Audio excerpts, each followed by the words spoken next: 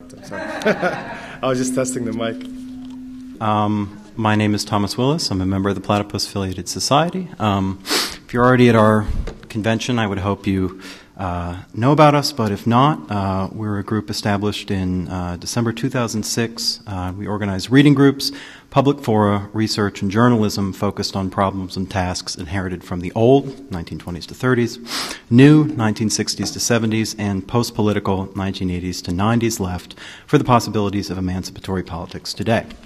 So, uh, right now. This is our opening plenary of the convention, and the title is Tony Cliff's Legacy Today International Socialism and the Tradition of Lenin and Trotsky.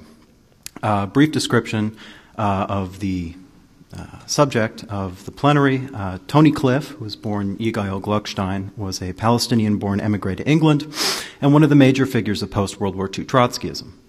Cliff founded the Socialist Review Group in 1950, which eventually grew into the International Socialists, uh, which still exists today, uh, the largest section of which is the Socialist Workers' Party UK. These groups emerged from the crisis of post war Trotskyism, which had found the once most pointed and forceful critics of Stalinism in the Soviet Union reduced to apologia. Cliff and his collaborators advanced a critique of both the Soviet Union and existing groups on the Trotskyist left through new and controversial doctrines like uh, state capitalism and deflected permanent revolution. So we've invited our now, unfortunately, only two panelists here today to discuss the legacy of Cliff and the international, uh, sorry, the international socialist tradition, uh, including their origins, uh, changed organizational forms through the 60s and 70s, and their impact and influence on the present day left. Okay, so our two speakers first uh, will be James Heartfield, who has been active on the British left for many years, campaigning against militarism. Uh, he wrote The Unpatriotic History of the Second World War for Zero Books in 2012 and is currently writing a history of the British Anti Slavery Society for Hurst Books. Our second speaker, Tarek Shalaby, is a member of the Revolutionary Socialists in Egypt uh, and is on the Media Committee working on digital communications. Uh, he's a long-standing activist in Egypt and was among the first to set up tents in Tahrir Square during the 2011 revolts. Okay, so uh, the format is we're going to have uh, 20 minutes each of prepared comments by uh, both speakers, which will amount to 40 minutes total. Uh, 15 minutes for responses from both speakers uh, in order, and then we will go to the audience for question and answer for about an hour. Um, and one thing before we go, we're going to be meeting tonight at scheduled around 9 p.m., but we'll see how it goes uh, depending on the length of this event at the Exchequer for all you can eat pizza and beer. Okay, anyway, um, we'll hand things over now to James, who um, take things away. Okay, well, uh, so Nate, will you do me a favor mm-hmm. and open me up that uh, PowerPoint uh, on that first slide? Um, I can hear me.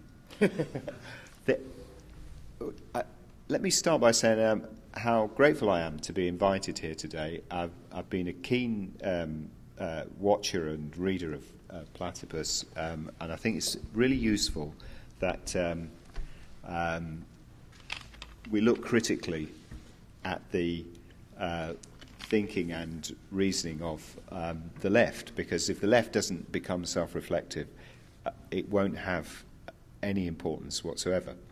Um, so I'm, I'm, I mean, I'm thrilled to be in Chicago, obviously, uh, but I'm also very glad to be here and participating in this event.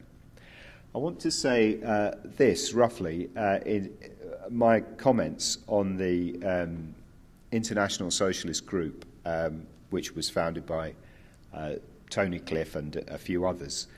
And that is that um, uh, I think the, that's them up there. Um, the, the best way to understand the intellectual development of it, uh, I think, of, of his thinking and, and the group's thinking is really to see it very much in context. So if I um, look at my next slide, I think the important part about um, what Cliff's real intervention was and um, its different um, facets was that um, he was very interested in uh, an argument uh, about socialist organization which derives from something that Lenin had said very early in the 20th century. And roughly speaking, in the pamphlet, What is to be Done, what Lenin does in that pamphlet is to um, bend the stick, as uh, Tony Cliff used to say. He made the point very forcefully that uh, the spontaneous consciousness of the working class would not go beyond trade union consciousness, uh, and that political, uh, uh, the theoretical reflection upon that would necessarily uh, uh, be, as he said in the pamphlet, introduced from the outside, which was an anathema to Tony Cliff, which he, a point he criticised. And you can, the best places to read the criticism are the, well, the, there's a book he wrote about, which is a kind of book about Rosa Luxemburg, uh, and uh, a pamphlet which is uh, Trotsky on um, party and class. Now, this is the core of the argument, and it's, it's fascinating because what Lenin is doing is very, very old fashioned in philosophical terms, is that he's um, uh, derived really from a kind of Enlightenment view. Uh, he's saying that in essence there is uh, a, a, distinction to be made between higher thought uh, and opinion between uh, rational thought, uh, reflective thought, and immediate natural thinking. And I would suggest that that uh, would be commonplace in, in amongst Enlightenment thinkers like Hegel or John Locke. It would be easily understood by them. Did it have a sectarian implication? Now then, um, I suggest not, because Lenin, like Hegel, understood that the, when he talked about higher thought or uh, reflective thought or theoretical reflection and distinguished it from uh, the merely spontaneous uh, uh reflections of um, uh, people in their activity, uh, he understood that essentially they were the same, that they were the same su- stuff, the same substance, that reflection, that theoretical thinking was not separate and apart wholly. It wasn't a, an absolute distinction, but it was of the same material. It was a distillation of experience. But that distillation was not something that could happen unbidden. That was the very point. Uh, it could only be organized around. It would have to be reflective through organization. And that, roughly speaking, is a point of view which has been um, largely rejected uh, in the 20th century. So, if I, um, uh, this is my mad illustration of the point. Um, in the 20th century, uh, philosophers like Merleau-Ponty uh, uh, and um, Husserl have resisted the idea that there's a differentiation between rational thought uh, and experience, and they've they've tried to bracket the question aside and and insisted on the um, uh, commonality of uh, spontaneous thinking uh, and reason, and that they uh, you know, and really resisted the, the differentiation.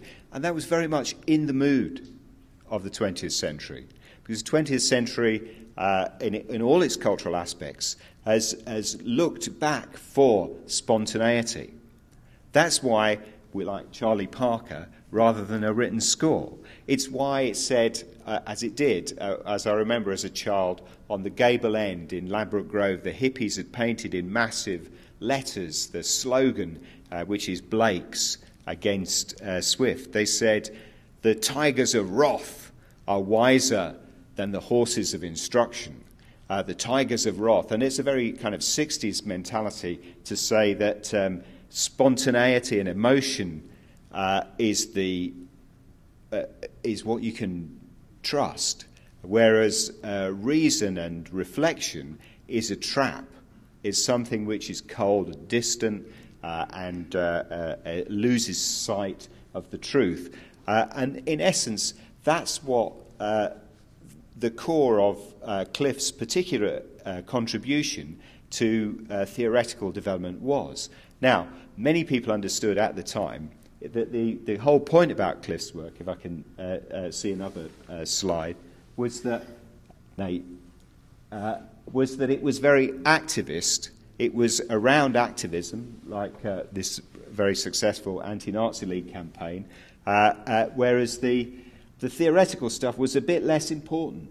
Uh, or, or if I, uh, and then, if I could see another slide, um, more recently, the um, Socialist Workers' Party, which is what the International Socialist Group became, uh, was very successful again in the Stop the War campaign uh, because it inserted itself very pointedly within a, a, a rising uh, tide of movement and reflected those, uh, those feelings that were being expressed in the largely uh, spontaneous rejection of the, uh, um, um, uh, the war campaign that uh, uh, George Bush and Tony Blair were implicated in, uh, looking at it from the, the British perspective. Now, that's all very good, and I think it's, um, if we understand that, it's, we can understand why the, um, the tendency was relatively lively. You know, it had a big uh, impact. I, I want to be a little bit cautious because, to be realistic, um, I don't think the Socialist Workers' Party in Britain ever had any real social weight of a determinative character. I don't think it ever actually changed the course of uh, history at any point.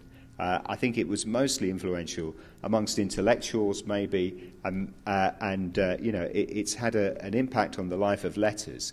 Uh, but it did rather elegantly, I think, um, summate uh, moods at certain points because that was the, the raison d'etre. The, the downside, and I think the, the limitation, was that it, it, there was a, a fairly profound uh, anti theoretical trajectory uh, in the way that they worked. Uh, and um, I, I, it's not to say that there weren't theories, you know, we've just heard uh, some of them listed. There were theories were worked up, like the permanent arms economy or Russia is state capitalist. Uh, uh, the permanent revolution has been deflected in the third world, and, and this is the foundations of uh, uh the third world nationalist movements. I think these are all essentially pragmatic um, uh, post festum constructions uh, to describe a problem, really. Um, so it was a problem that the Trotskyists had inherited a, um, a catastrophist understanding of the economy from Trotsky, uh, which told them that um, uh, the economy would be uh, getting worse and worse and worse in, in, the 1950s and the 1960s, which simply wasn't true. Uh, and so, post festum, the theory was worked up to explain that. And it, it, it's eccentric, actually, uh, uh, to say that it, it was the um, arms expenditure was the cause of the um, uh, the restoration of capitalism, and then to say, uh, you know, 20 years later that arms expenditure was the cause of the um, uh, collapse of the economy in the 1980s. When I say it's eccentric, I mean it's eccentric. It's eccentric in the sense that it's, um, I think the people that coined it weren't really thinking about the fact that they were overthrowing a, a basic proposition of, of Marx's, which, whose um, theoretical where they were situating themselves within, which is that the barrier to capital accumulation is capital itself. It's not something outside like arms expenditure. That could only be an epiphenomenal effect. Um, uh, I see my time is moving on. Uh, so, just to um, insist upon the, um, the situatedness of the um, development of the um, IS group and the Socialist Workers' Party afterwards. What I'd like to say is that at key points, we can uh, see the next slide, they were lifted by events uh, like the, um, uh, the trade union militancy of the 1970s. Uh, and then, when those events moved on, they fell. So if we, if we see the, the, this is also the 70s, but we see the next slide. Um, this was a, a, a kind of a classic kind of problem that they were in. That um, in the 1970s, the, um, uh, the structure of the, uh, or, the, or the, the, the, rhythm of the class conflict that was emerging, become quite intense in the 1970s, was that uh, full time trade union officials were clashing with their rank and file because the, uh, the rank and file members were um, basically frustrated with the, the, the, slow rate of progress and angry at the, um, uh, the fixation of the full-time officials on their securing their own position as over and above um, the rights of uh, workers. And the uh, um, Trotskyists of the IS group competed with the um, uh, members of the Communist Party in Britain uh, for authority amongst the rank and file. Uh, and it was, it was a good pitch, as it were. You know, it, it was a way of uh, presenting what their particular aims were. Because the rank and file revolt of the 1970s, uh, astonishing as it was, merely rose to a crescendo and then fell back, uh, the situation of the, the most militant groups amongst uh, uh, British organised labour changed with it. As they became on the defensive, uh, they rallied to the trade union officers, like uh, the great hero of the um, National Union of Mine Workers, Arthur Scargill. The, it was quite astonishing, really, to be in that um, uh, conflict, to understand that the, um, Arthur Scargill had failed to win his members uh, uh, across the, uh, the, the mines to a position of taking action against pit closures. And he was in a peculiar position because he knew that his most militant activists were strongly in favour of strike action. Uh, but they were deeply divided uh, from uh, the grassroots membership, who were pulling away from the uh, militancy of the 1970s. The militants wanted action, uh, but they couldn't carry the mass of the membership for them. And that was the reason why that um, when the uh, strike did break out in the um, uh, pits, it was not uh, done through trade union democracy, but through picket action. What happened was that one pit took action, it struck it, it picketed out the other pit. Miners are uh, keen supporters of the principle not crossing a picket line, which meant that it was a very effective uh, system, except that throughout the entire dispute, and the dispute lasted a year, was one of the, the bitterest of all, um, the union itself was divided. It was essentially it was divided between the militant uh, activists and the less militant members, particularly the uh, less militant members in Nottingham, who were not convinced of the need uh, uh, to go ahead. So when the um, leader of the National Mine Union of Mine Workers said, we, um, with, it, it, wasn't actually his idea, it was the um, uh, the uh, Yorkshire Area Committee uh, pushed the point. We're not going to have a ballot because the Conservative government is trying to twist our arm to have a ballot. If we have a ballot, we'll lose the ballot uh, and then we'll lose, or, you know, the, the whole thing will be a disaster. That was a tragic position to be in, and it was the very reverse of the situation they should have been in uh, or that the, the, they expressed themselves in the 1970s, it was the reverse of the position because they'd adopted the position of the most militant section within the union. But the most militant section within the union were themselves running scared of the rank and file. The rank and file were the very people who were not trusted in the organisation of the strike. And that's why the strike failed, because they could not secure their own members uh, to fight uh, in the thing. And throughout this long year, when they should have been going out to get other people to support them, instead they were defending their own position. Now, throughout that period, the Socialist Workers' Party supported the position that there should be no ballot. Think about that. That was a, a singular reversion of the position that they'd adopted throughout the 1970s, which was for the rank and file, let the rank and file decide. But they'd redefined the rank and file because they'd drifted with the militants they reflected the militant perspective, which by that time was defensive. So they really merely echoed their defensiveness.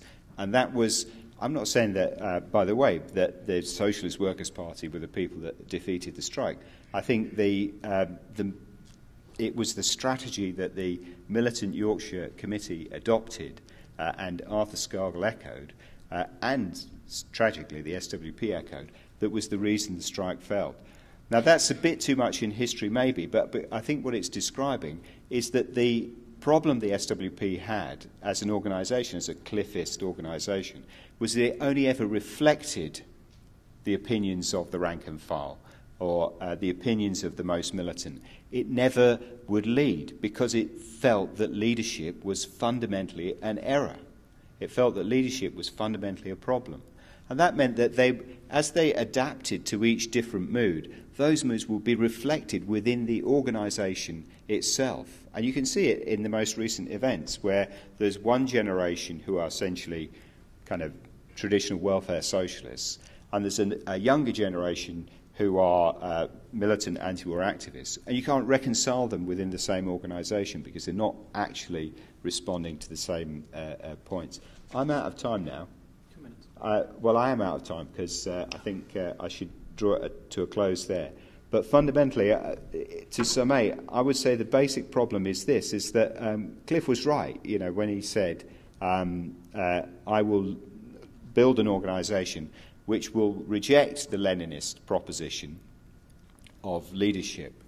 But then his basic problem was that subsequently you had to organize an organization and you had to um, uh, control it. And because he hadn't secured its coherence theoretically, politically, through the pl- process of theoretical clarification, it was only really possible to do it bureaucratically. Uh, and that meant that factions would be banned, that um, uh, uh, people would be expelled if they uh, uh couldn't uh, toe the party line. It was a very limited understanding of party discipline because it wasn't a discipline that was owned by the organisation itself. It was operated, tragically, since this was the very thing that he wished to avoid, uh, by the leadership against the membership. All right, Tarek.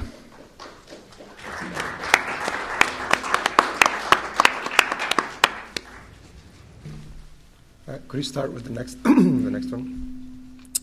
Hi everyone, how you doing? Now, uh, lots of uh, lots to talk about. Can you hear me fine, or is there an echo or something? Slight feedback. Yeah. Oh well. Okay, so uh, yeah, there's lots to talk about, and uh, James, I think, covered a lot of uh, a lot of interesting uh, topics. Now, um, uh, what I want to talk about a little more, a little about is the global front. You know, the international uh, left, and I spe- especially uh, look at it from a perspective of what's going on in Egypt and how that's reflected on the global left. So it's kind of a cheap way to talk about what I wanted to talk about, but kind of make it fit the the questions uh, that that were posed. But um, I want to start by talking about this this photo right here, 1977. Uh, Sadat uh, responded to demands by the World Bank and the IMF to actually remove uh, subsidies on bread. Now, this is part of obviously the, the neoliberal policies to uh, you know, to make Egypt more attractive for investment and, and make it neoliberal and the Thatcher Reagan uh, kind of style, uh, kind of economy. And uh, obviously, we're all well aware of this. But the, the interesting thing is, is that as soon as Sadat did that, uh, riots broke out, and they're just, they describe them as riots because they weren't strikes, they weren't protests. I think they were. It's interesting that they say it was riots because they weren't organized. It was just lots of very angry Egyptians taking to the streets because, uh, as you might know, bread is the most basic component of an Egyptian's life in, in Egypt, and it, it, it, it makes up uh, most of the basic uh, food basket. And therefore, uh, if you're like the average Egyptian would probably be making $100 a month, the average worker. And so, if you remove subsidies on uh, bread, or actually what you're doing is you're removing subsidies on the flour that's used to make the bread, then that actually results in the prices hiking up across the board, across all the different goods. And so that's that was a problem. Now the interesting thing here is that as soon as the riots broke out, Sadat had to actually step back. Now, this was a decision he made. Uh, he was, you know, so that was, you know, more as it was an installed president. Like he was the, the West's favorite. He was the neoliberal uh, uh, poster boy for uh, for all the for all the international community in the Western countries wanting to control the Egyptian economy and whatnot. And so, for him to step back me shows how big of a backlash that was with the riots uh, because of the this, the hike in, in prices, and that wasn't organized.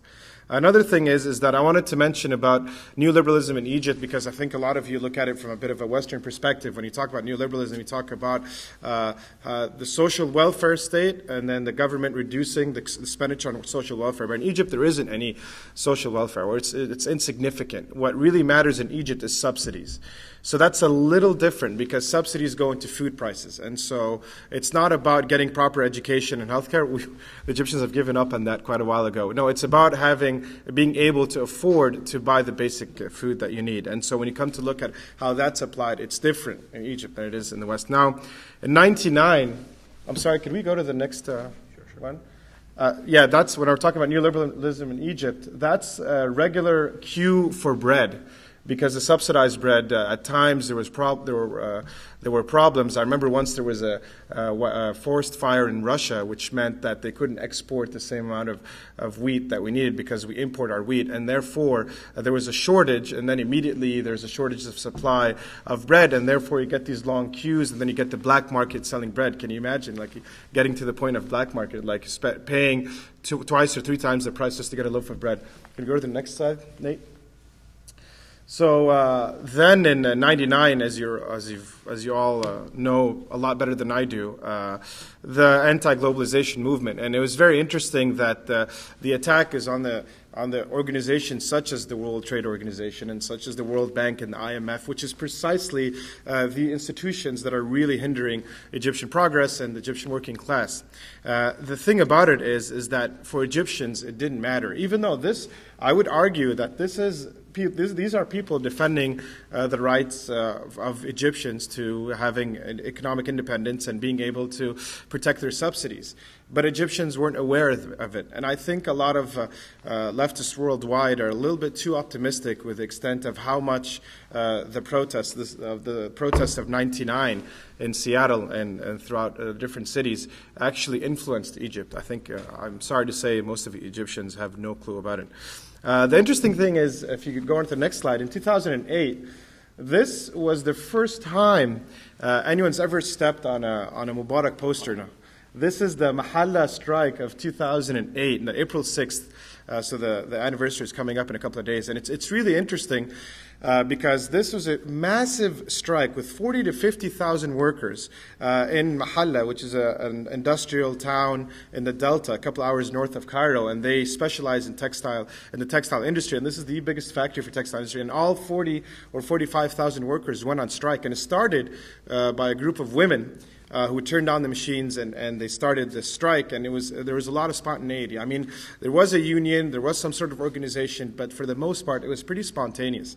And obviously, their demands were um, uh, better wage and better working conditions, and because they work, uh, they, have, they live in horrendous uh, conditions. But the, thing, the interesting thing about it is that they made the connection that golden rule that I think a lot of the Western left uh, take for granted, and that is people realizing that uh, the struggle, the every, everyday struggle, and the, and the hardship is directly related to the political spectrum and the decisions made by the authorities. Now, don't underestimate how difficult it is to make that connection, and don't underestimate how avant-garde uh, these people were, because they, a lot of them haven't received proper education, haven't been exposed, probably never traveled beyond a couple of cities in Egypt, and have never actually had enough money to own a proper cell phone or get access to internet properly or what have you. But they made that connection, and they were the first people to take down Mubarak's poster on the ground and step on it, and step, uh, step on it with their feet and say, We reject this. Mubarak is the reason uh, that we are going through such hardship. And that, I think that, that is amazing. Now, if you go to the next slide, uh, this is a, a, very famous, famous photo uh, that was for a while the profile picture of a lot of, uh, uh, a lot of my friends on Facebook. This is January 25th, 2011. So basically, on a Tuesday, which was basically uh, uh, it was the National Police Day because Mubarak had decided the year before to start this new holiday to commemorate the police. I, like, if you think about that for a second, you might, you might just realize how ridiculous it is that at the height of torture and of corruption and of everything you might hate of the police, no one in Egypt feels safe around the police, not even the high class, not even people who are wealthy and part of the bourgeoisie. No one feels comfortable uh, dealing with, with, with the police. And, and uh, despite all that, Mubarak, instead of trying to reform it, trying to calm it down a little bit, especially under international pressure to do, to take such, such superficial steps, he didn't even do that. He had a, a day dedicated to the national police that we're supposed to all, all celebrate and talk about how great our police is. So um, on that day, uh, a lot of uh, middle class and upper middle class activists decided to go to Tahrir. Now, there are some organizations uh, that took part, but this was all very spontaneous. Like, no one knew it was going to be this big. I took the streets, and I was expecting it to be just another one of our protests, you know, with, you know, 500 people, maybe a 1,000. But this is uh, a good like 40 to 50,000 uh, Egyptians uh, in Tahrir Square. That's phenomenal.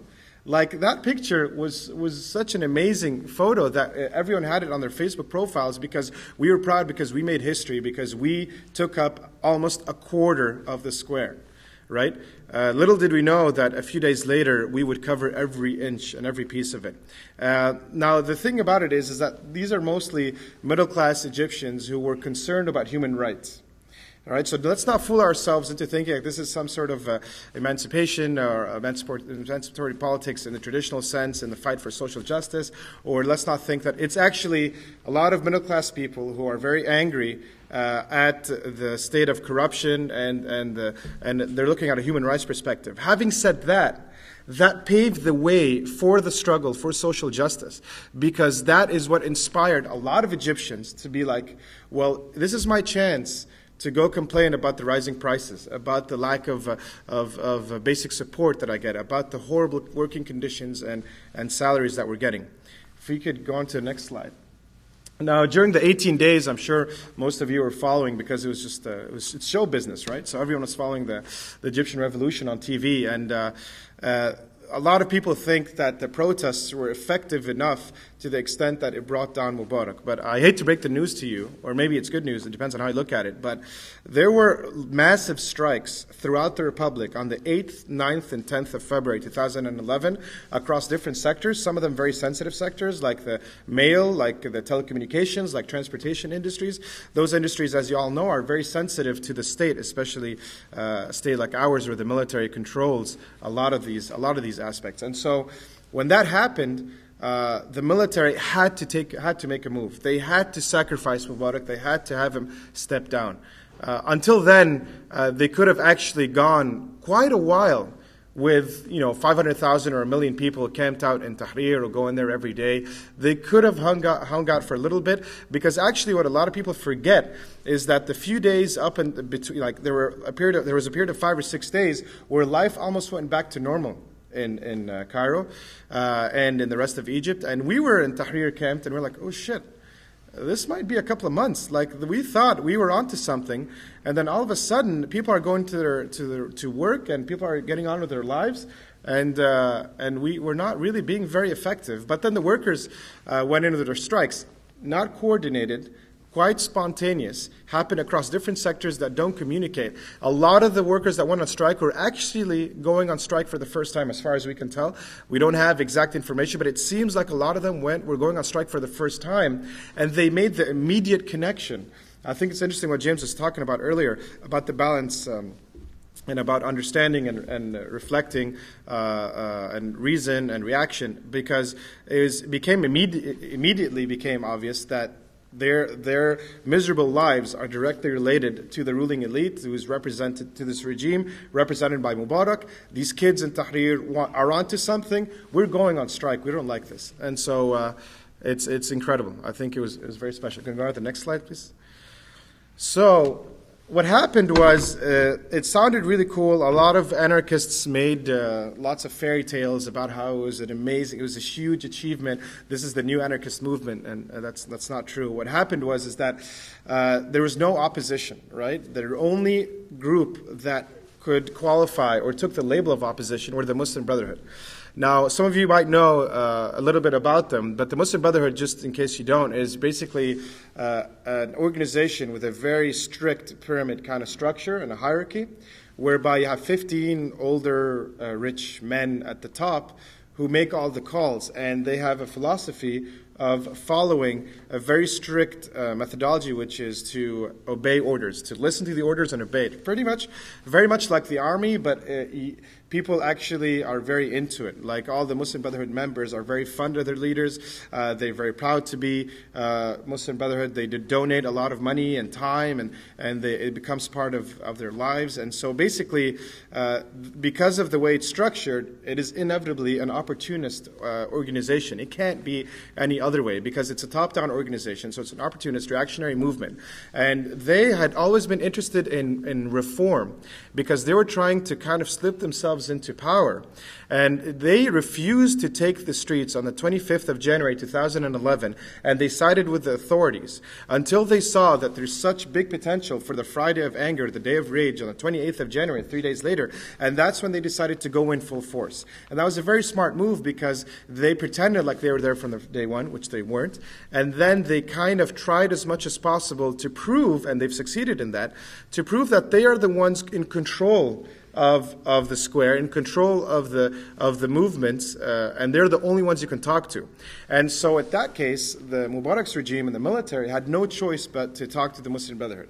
And that's when they cut the deal, and the deal was we let you do your thing, right? We'll let you replace Mubarak's party and some, some posts. We'll give you a bit of freedom to run the elections. You'll probably win the elections. We'll disband the, Muslim, the Mubarak party. We'll do all these things. But as soon as uh, we're past this point, you need to end this revolution completely. This revolutionary movement needs to come to an end, otherwise, it's your asses. Because at the end of the day, uh, the Muslim Brotherhood, as opportunists, they just wanted the first step the step to free and fair elections, the bourgeois, uh, the false bourgeois democracy. They just wanted that to make it to power and then to slowly but surely, via their own reform, kind of put in their men in the different institutions, but not trespass the red lines of the military.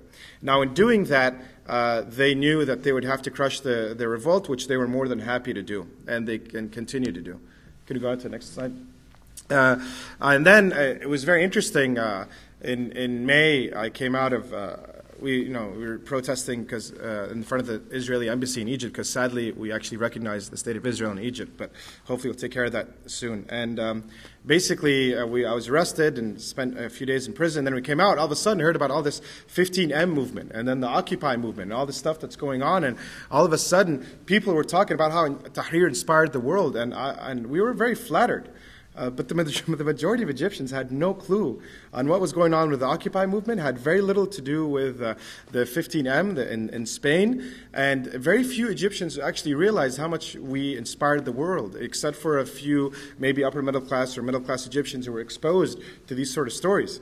And it's very interesting because this is like a one way inspiration. Like a lot of uh, people are trying to credit Egypt back. There were Egyptian flags in a lot of the occupied camps, as you might know. And uh, this was supposed to be a message back as a thank you thing to tell us we're in this together. But we didn't, we didn't feel it. but I appreciate it, though. If you go on to the next slide. Now, what happened was is that um, the thing about it is, is that the, this, this uh, partnership between the Muslim Brotherhood and the military really weakened us because the revolutionaries are not organized, and therefore there wasn't the opportunity to actually present a candidate and to be an alter- and have an alternative path. And so we, ha- we were in a bi- binary situation. And uh, on November uh, 22nd, 2011, just a few days before the first parliamentary elections, the first proper, true, free, and fair parliamentary elections in Egyptian history, uh, we, the, a massive, massive protest covering the entire square. I couldn't find the photo that I was looking for. So this is, this is like only maybe a tenth of what it was like. It was just massive. And this was a protest that the Muslim Brotherhood told every, uh, dictated, uh, told their members not to join. And they actually called, uh, they declared uh, this run by thugs and by agents of Israel and Hamas and Hezbollah and the U.S. and, you know, the, the the usual bunch, and, and they attacked it very, very fiercely. And the military obviously were against it, and so was Mubarak's party. So this is all of the sides of the counter-revolution were all against this. This is pure, clean-cut revolutionaries here in, in Tahrir Square who all were uh, just took the streets to, to, took to the square uh, to chant and ask for Tantawi to step down, the head of the military the military at the time, and also to uh, in defiance of the of what the Muslim Brotherhood asked for. There was no organization at that point. I mean, the Revolutionary Socialists and other groups, yes, we tried to do our best. Yes, we might have gotten maybe hundreds, maybe thousands to the streets, but No one's capable of getting these hundreds of thousands, and no one was actually, no one could imagine that there would be hundred, that there would be, you know, over a million people take uh, in Tahrir, uh, both against both against the, the military and against the and the Brotherhood. And this is just shows you how powerful uh, it has been, the spontaneity has been in the Egyptian Revolution. If you go to the next slide, uh, the last thing before I get to the conclusion, because I think I'm running out of time. Um, Four minutes. Okay, cool. Four minutes should be all right. Uh, is, is we found ourselves in a situation where when we got to the elections, obviously, no, the revolutionaries we, uh, and the left wasn't organized. We couldn't present a candidate. We're far from it, and it's kind of understandable because the infrastructure doesn't allow us to do such a thing, and we have very little experience compared to the Muslim Brotherhood, who've been running for 80 years uh, since the days of the king, before the 1952 coup, and Shafiq, who was the prime minister appointed by Mubarak in his final days. He was the Minister of Civil Aviation, and he's like the protege of, of Mubarak. And, and so you're talking about uh, the hardcore selection between the Muslim Brotherhood, who have immediately joined the counter revolution, have betrayed the revolutionary demands in every single aspect, and the other side, which is basically Mubarak's regime and the military and the brutal force.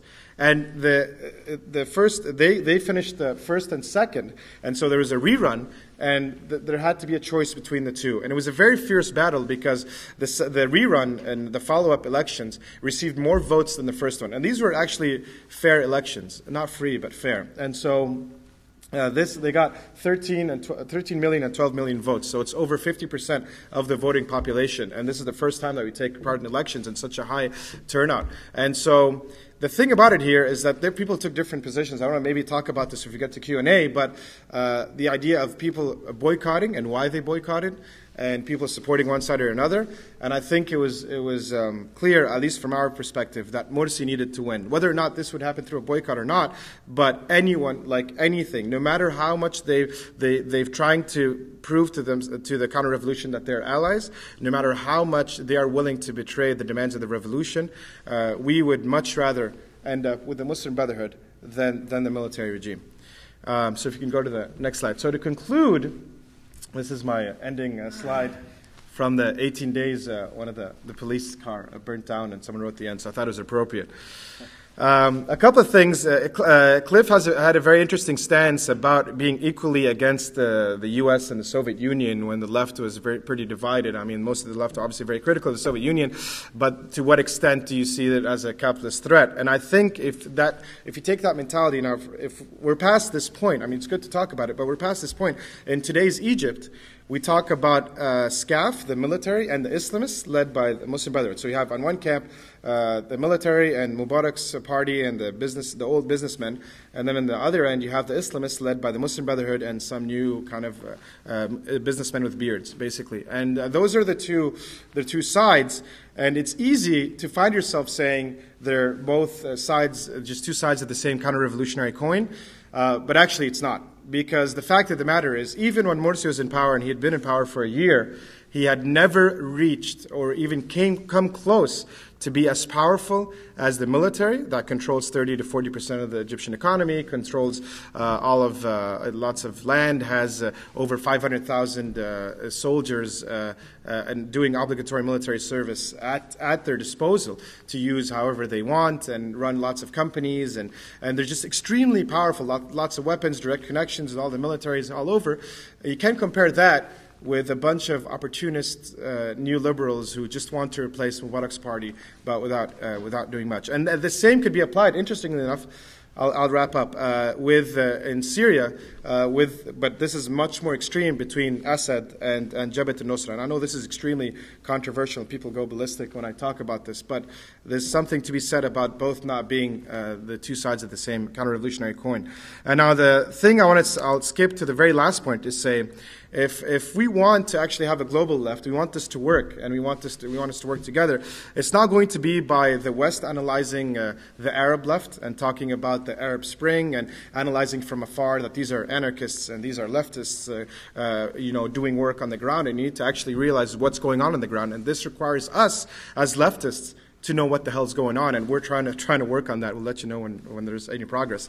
Uh, another thing is uh, not by preaching ideology because it's really difficult to reach out. I'm going to wrap up in a minute. I'm sorry to reach to to to get to get people on board with your ideology uh, and and skip the the struggle for economical and economic independence. Like to to actually what we should be doing is we should be supporting strikes. Okay, and that could be strikes that of of workers who are supporting the counter revolution uh, during the uh, during the day and striking at night. That's that's perfectly fine to start with. Independent labor unions in Egypt we had two or three before the revolution. Now we have 1,500. Um, uh, using the social media and and trying to appear as much as possible in mainstream media to get our messages across, and of course trying to work on democratic reform in, in, in parallel to facilitate the struggle. Because otherwise, without democratic reform, it's really really difficult to do revolutionary work in Egypt. Um, then we can at that point we can talk about international solidarity. That's what I have to say.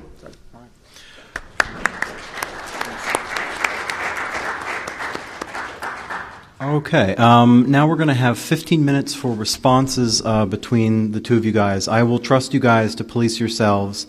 Uh, there will be 15 minutes total. Try to give each other equal time to talk. Uh, we'll start with James. Since you spoke first, you can respond to Tarek's comments. Then, Tarek, you can respond to James's comments and what he's just said about what you said. Um, but go away, guys.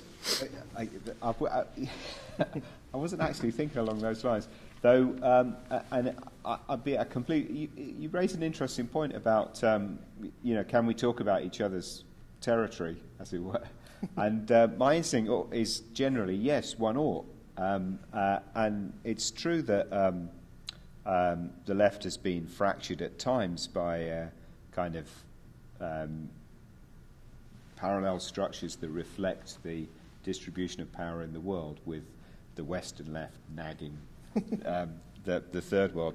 And from time to time, too, I've seen a lot of situations where the, um, the first world lefties are kind of uh, supplicant, uh, you know, yes, please tell me what to do, um, because uh, essentially they're embarrassed. And um, so I think on the whole, it, it, it uh, it's good, you know, to, to kick each other left, right, and centre because um, we should be um, uh, critical of, of, of, what's said. Having said that, I'm at a complete disadvantage because I really know very little about um, uh, Egypt. I don't feel confident um, to say that much. I did have this weird ex- experience that, um, that uh, unnerving actually with. Um, I don't want to say who it was because it was it was uh, in a kind of friendly situation, uh, uh, but a leading um, Arab leftist was uh, just after the uh, the Tamarod. Is it Tamarod? Tamarod, yeah. The the whole uh, the, the, the the new Tahrir Square. Uh, and, June 30th, yeah. Uh, and he's saying to me, you know, it was great that um, uh, the army came in and um, demolished them.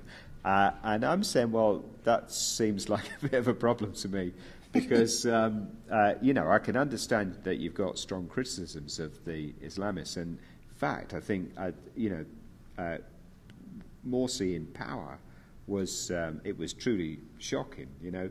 Um, and you can see as well the, the, the extent of the conflict with the, um, uh, the military, you know, their, their anxiety about uh, all these guys coming in that have been involved in previous actions and being more or less unpoliced, whole problems uh, uh, breaking up. So there's a lot of conflict not there. But I was astonished that this guy would be say. I'm not going to. I'll tell you after who it was. I need uh, to know who this guy is. Uh, uh, that um, you know, he was really saying that um, uh, he invested the the the the, the new the so-called new um, Tahrir Square protest with the character of a, a recall movement. You know, like uh, it was a popular democratic movement to recall.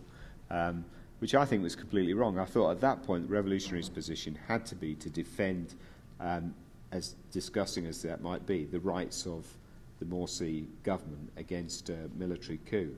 On the other hand, that when I'm listening to you talking about the, um, uh, the election contest, I've got to say that, um, uh, again, uh, you know, with all the provisos about ignorance, strikes me that that was the classic um, failure, wasn't it? Because there you had the thing just at the moment when, as you describe it very well, the spontaneous movement is with the is way beyond um, uh, the options available. And yet, when it comes to the election, uh, it's, it's back to the two non options, isn't it? And it, it's, it's the inability to get a third candidate that really is it, the inability to make it a political contest uh, is why um, the gains aren't consolidated and why they're still not. I mean, I'm not, you know, don't say to diminish it, but the gains are not consolidated because it's, they, they could only be consolidated by an actual direct political contest with Morsi and with, um, with uh, uh, the regime. That's the way I'd see it. But you're just going to agree now, don't you? Well, I, I, agree. It's just this one part that I don't uh, agree. Uh, maybe uh, I'm a little different of. With it's the very particular the situation on June 30th, right? So uh, Morsi came to power on June 30th, 2012, right? And actually, what I didn't get to talk about in, during the talk is building up right after the uh, the 18 days.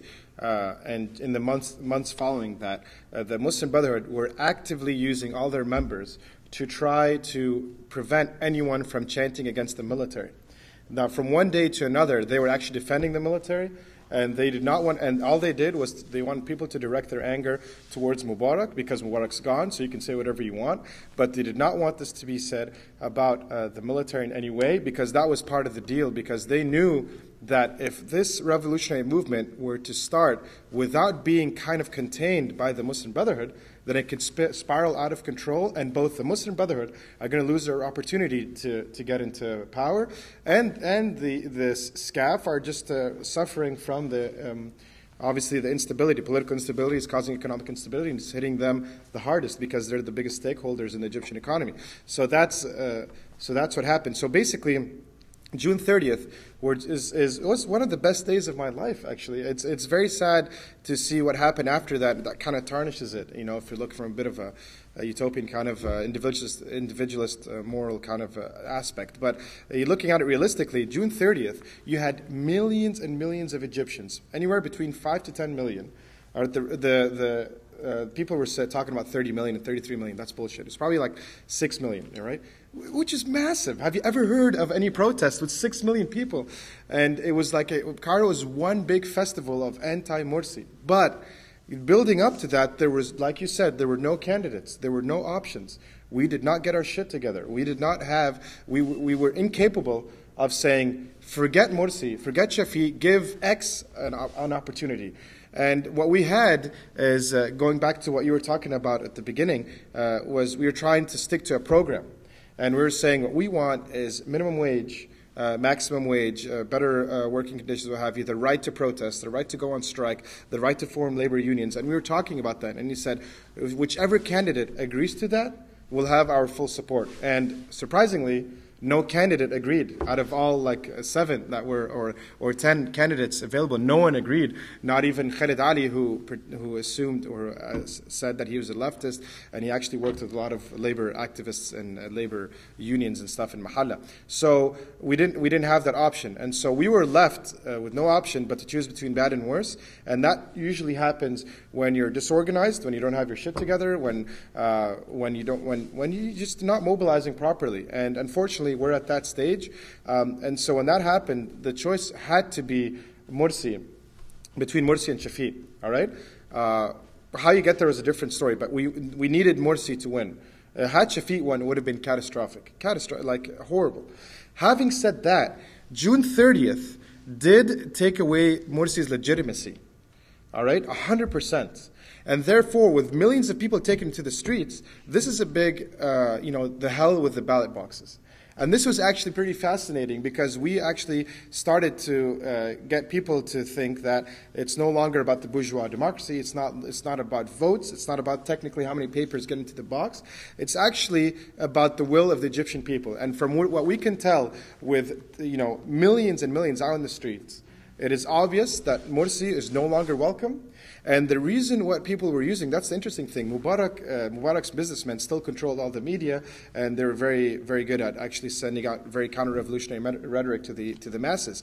But what they were using to rally up the people against Morsi were actually fairly revolutionary uh, demands, like uh, the rise in prices, the instability, uh, of, of the political the political instability. Life is getting tough, and people aren't being able to get jobs. Their electricity is getting cut. There's a shortage in fuel.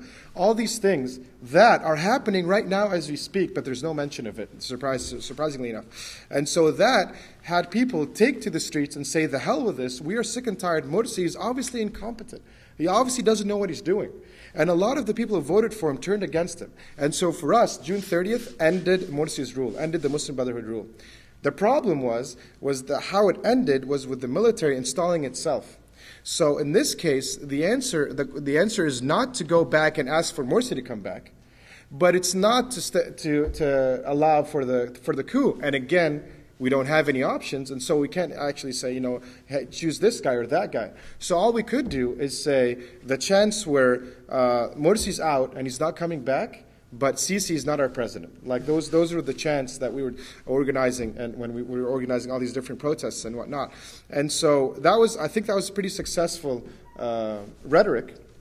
Uh, however, we find ourselves in a tough situation, and you would you could probably try to help me out to figure out what we're supposed to do because we find ourselves in a tough situation where we can't get ourselves out of it, so all we're doing is criticizing, exposing the hypocrisy of of Sisi of the military. But in, by doing that, we've forced Sisi to promise that Egypt would be like the new Switzerland. Like he, the, the, the level of expectations is overwhelming. It's massive. People think that prices are going to go down. They're going to find jobs. Food is going to be available everywhere. Life is going to be better. There's going to be education and healthcare and infrastructure and, and projects for the youth to get up and, and running. And that's not going to happen. So if if and when actually when the military because it's going to happen when the military falls which we which could happen in six months and you can and you've heard it here first when you start seeing the huge wave of, of strikes and protests against the military if we're not ready then and I, I hate to say this but it looks really difficult it's a very tough task if we're not ready then we might be falling back into this polarization of islamists military. And uh, so yeah so that's that's that's what. That's that. But if I could ask him a question. Yeah, we've got four minutes about left. So. Okay. No, if you could uh, like. Because you, it was very, it's uh, you criticized uh, the SWP uh, quite a bit, and I, th- I think it was very constructive criticism. But um, what what would advice would you give then to this sort of parties because you said you uh, they're they're reacting and they're making decisions that aren't ex- uh, precisely what should be taken. So the end result is that it seems like it's the leadership against the membership. But how would you go about like what changes would you want to see so that you're pleased with SWP? But I think it's very tough right now, and um, I mean, you know, this is all in the context of. Uh, I mean, maybe this is just too unpleasant to describe that the um, uh, the, the, the, the, whole, the whole association of the organisation is so bad in Britain right now, and and it, actually it's uh, you know this might sound eccentric. It's really unfair because um, uh, you know most recently they were um, they were told that they couldn't have the conference at um, the University of London Union where they've been holding it for the last I think 20 years um, uh, which is complete uh, left-wing sabotage. You know, it's another rival left-wing group that's put this this point up, and yet they're they're completely stuffed because the um, uh, the mood uh, that's characterised them as like sexist abusers is so entrenched on the British um, kind of left-wing milieu in which they would they exist that. I, I think as an organisation that that you know the one that carries its name is is really is uh, you know it's, it's hard to see how they'll get beyond it. Obviously, there's a number of um, people that that are within the tradition who are not in the organisation, and um, you know they're, they're, trying to think about what um, you know what the different uh, positions are, and and it's I don't know that I would say that um, uh, it, it, my, uh, uh, you know, the, the essence of what I'm saying is that uh, the error is actually, or, or, the, you know, the way you can fix the problem is not in um, the, specific policy or your attitude to, um, you know, the, the dotting the I's and crossing the T's of, of how you organise um, uh, your debate, but the life of the debate. Because if the reflective moment within the organisation is not um, uh, doesn't understand that it, it must, to a, a, degree, pull it, abstract itself from um, immediacy uh, uh, and become theoretical reflection, uh, then it's not going to succeed. And I think the difficulty when you see the like the RS21 kind of discussion is that they're not really, they don't seem to want to uh, um, reflect upon the tradition and understand uh, where its strengths and its li- limitations are. What they want to do is to defend the honour of what they did. Well, I mean, it's understandable. You know, well, they, they want, you know, they, they, don't want to think that they were um, uh, propagandists for, uh, you know, some kind of sexist club. You know, they want to think that actually, no, there was something to be retrieved in all of that, and that that's good. That's a proper thing to do. But I think that the problem is that nobody's really addressing the actual problem. The whole question about what did Martin Smith do strikes me as the least important. Yeah, exactly. Right. It's, it's, it's symptomatic. You know, the fact that everything concentrated upon, you know, this particular scandal. I mean, don't we know this in, in every other walk of life? You know, the Catholic Church, the Tory party, all these things become consumed by individual scandal precisely at the moment when they're, um, for reasons that they don't properly understand, are failing to uh, get their message across. And at that point, the activists become bitterly um, uh, backbiting of each other. And uh, I, I, hate doing this because nobody can understand it. And they, you know, they all start pointing their finger at you saying you're a rape apologist and all the rest of it. but um, the, you know, the, if you don't, if we don't get beyond this uh, question of of uh, personal behaviour and start understanding what were the limitations of the movement, I think I, I like a lot of what Richard Seymour said recently about um, uh, you know, having a more sober assessment of uh, where the left is, because I think that, that what is, uh, what's interesting about what he's trying to do is, is he's trying to understand not what went wrong in you know somebody's bedroom, but what went wrong in a kind of political appeal. What you know, where is the uh, anyway? Sorry, I made the point. Okay, thanks. Um, all right, we're going to go to audience Q and A now. Um, it's difficult to see up here, so be sure to wiggle your hands vigorously so I can see. And Chris Cutrone seems to be wiggling his hand the most vigorously, so we'll go to him. Testing. Okay. Yeah, I don't want to trip and kill myself. Yeah, could we um, let up the light a little bit on the audience so we can see better? All right, so I wanted to uh, bring us back to where James started the conversation, uh, namely, um, you know, the, the, framework of the of the uh, the panel to begin with. Uh, given the, at least in the Anglophone world, the predominance of um, Cliffism as a tradition, the relationship to the earlier history to uh, you know ostensible Leninism and going back to the question of Lenin's "What is to be done" and the idea of theoretical reflection and uh, the role of intellectual life on the left. Um, because it, it, you know, a term that, that hasn't come up, but that's a, a kind of a dear term to Lenin, is tailism. Um, and so, you know, not only is there the question of spontaneity or not spontaneity, there's also the question of tailism. Now, one thing that did come up that I wanted to highlight was the question of opportunism. In other words, Tarek, when you described the Muslim Brotherhood, that its organizational structure is uh, designed for opportunistic politics, and James, when you pointed out about how the SWP in the UK found itself in the position of the leadership against the membership. Uh, that what most people don't understand about the question of opportunism is the authoritarianism of opportunism.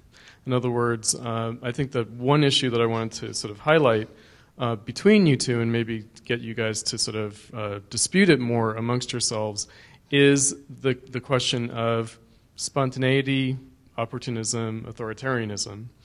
Um, in other words, it, this missing term, tailism, can kind of connect those up a little bit. Uh, meaning that not only does a organization have to be kind of top down and authoritarian in order to get its membership to toe the line opportunistically, um, but uh, in fact, uh, you know, this question of tailing after spontaneity um, also carries within it that dynamic. And so, um, finally, the last point that I wanted to make is to sort of offer um, the issue of reflection with respect to this consciousness coming from outside, um, you know, which tends to be sort of mystified. It tends to be turned into a sociological question of, I don't know, intellectuals and workers. Um, whereas really what we're talking about is the horizon of politics. In other words, how can um, organizations lift the horizons, the political horizons, of what appear to be spontaneous uprisings, and that that might come not from an outside in terms of a sociological outside, another group of people, but could come from history. In other words, the idea that a kind of accumulated history could be brought to bear, because that's, I think, what Lenin meant in terms of what is to be done, to raise the horizons of what appear to be spontaneous movements. Okay. Um, James, you want to go first since we've set that order? Yeah, um, uh, uh, excellent uh, points. I'm, I'm very, very, interested. I, am I'm just tempted slightly to muddy the waters. I mean, shouldn't do really, but um, you know, the authoritarianism. There's a there's a lovely little essay that uh, Engels did on authority, where he makes the point that revolutions are pretty authoritarian. um, uh, uh, however, that, uh, the, that, that's at the risk of trivialising this uh, very excellent point on the floor, which is, I think, uh, the way I see it is this: is that. Um, uh, you know, if you were in the IS group in the kind of 1960s, you know, you imagine the kind of characters. There were some really, it's a very um, uh, creative kind of uh, period. You, you, know, you look at Dave Widgery's writings, you look at um, uh, um, um uh, Chris Hitchens, I think, is really fabulous um, contributor. I know people are very angry about some of the positions he took later on. You know, the, as a group of people, they're really interesting. And you can see that um, what kind of pulls them together is that they're, they're like a happy band, as it were. You know, in that, that um, uh, when they're really a student group, um, uh, uh, they're, they're rethinking, everything's going on, and their, their mode of organisation is, is relatively unimportant because they're, um, uh, they're a collective of um, co workers uh, who have all been through relatively similar experiences, and so uh, when they start to speak amongst each other, that it does, they don't have to beat each other up to win the argument. As the organisation grew, it got slightly uh, more different because it, it, it, was difficult to sustain that degree. Uh, you know, what was, you know, it, it, seemed like, oh, you know, we don't need um, uh, uh, to, to have a vote or, you know, to, to um, crush the internal opposition or anything like that. We can just get on. Uh, but as the organisation got larger and it, and it, incorporated different layers, you could see the limits of the spontaneous um, uh, uh, operation was that, um, uh, and you, it's very, you can really understand in, in reading both Ian Birchall's uh, very good comprehensive uh, biography and also Cliff's own autobiography that, um, uh, that in essence the leadership of the organisation is at war with its membership in a good way, as a, in a way that a, a lively organisation should have a kind of a conflict within it. You know, it is, a, it is to, to move forward. Nobody moves at the same pace. There, there, there should be a, a, kind of a disputatious kind of character, just as the organisation is in a disputatious, should be in a disputatious relationship uh, with the mass. You know, that, I think that's one of the weaknesses in, in Cliff's own personality was that he didn't really like it when, uh, uh, you know, he loved it when people said, oh, you know, we're all in it together. But he didn't like uh, the unhappy and aggressive point. You know, he didn't, he didn't, he wanted to hang out with the workers, uh, but he didn't like it to make an unpopular point. Uh, and he, he, he, he, he was always pushing his organisation to get stuck in. That was the key thing. And he would perceive the membership as a barrier, the, uh, the established membership as a barrier, and the younger members as the potential. Um, uh, and that's not always untrue uh, in organisations. Uh, but the, the point was that they no longer were in a position, sociologically speaking, uh, to be a singular conversation. Uh, they, they'd recruited people in a kind of haphazard way without it being, without a great demand. You know, just join up, you know, you're, you're active. It's mm. Martov's and Lenin's argument. You know, Lenin says to Martov, you can't possibly mean it when you say any man who goes on strike is a member of our party. Because if that's true, um, it, you just demean the whole proposition. And if you build your organisation, as you do if you're trying to make a mass organisation right now, people retrospectively mocked it and said it's a get rich quick kind of a thing. Uh, but of course, that was the enthusiasm of the moment, you know, sign them up and all the rest of it. And then you don't realize that all you've done by signing it up is you've expanded the, um, the line uh, uh, uh without changing the people. You know, nothing has changed in the thing. And that's why it ends up being authoritarian in the bad sense, you know, because what happened is the conversation was restricted to the Central Committee, and it's, it's well described in several instances, because the members were a, a, a chaos.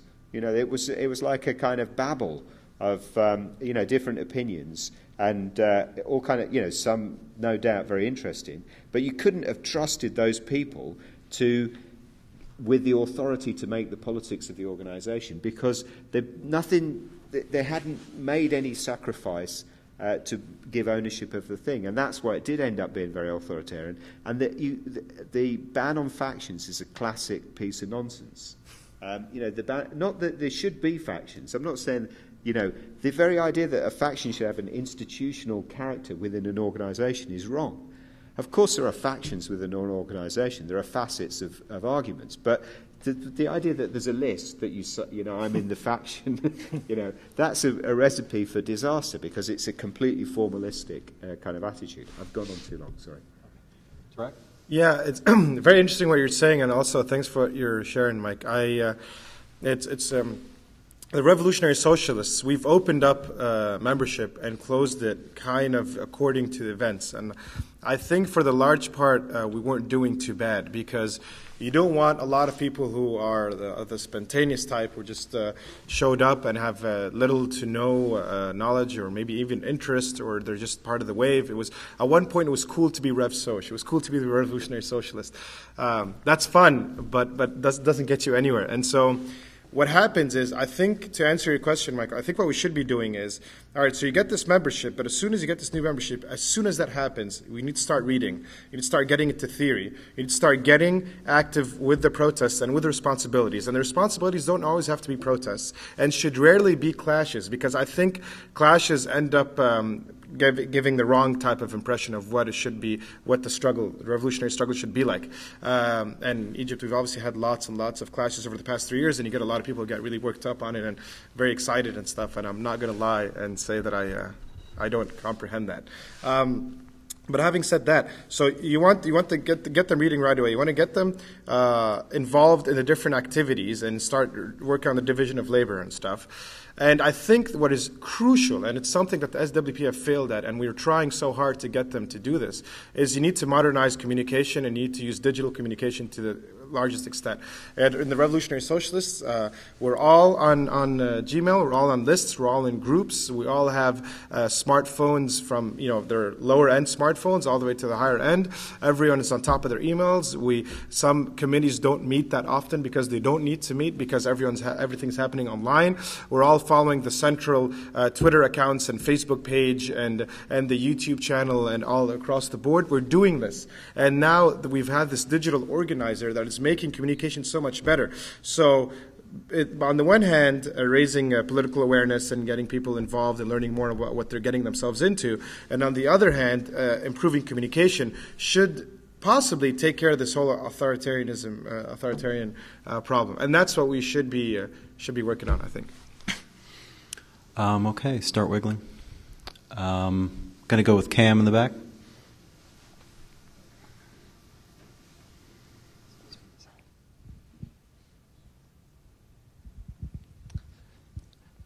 Hi. Um, get, my question is mostly for Tarek.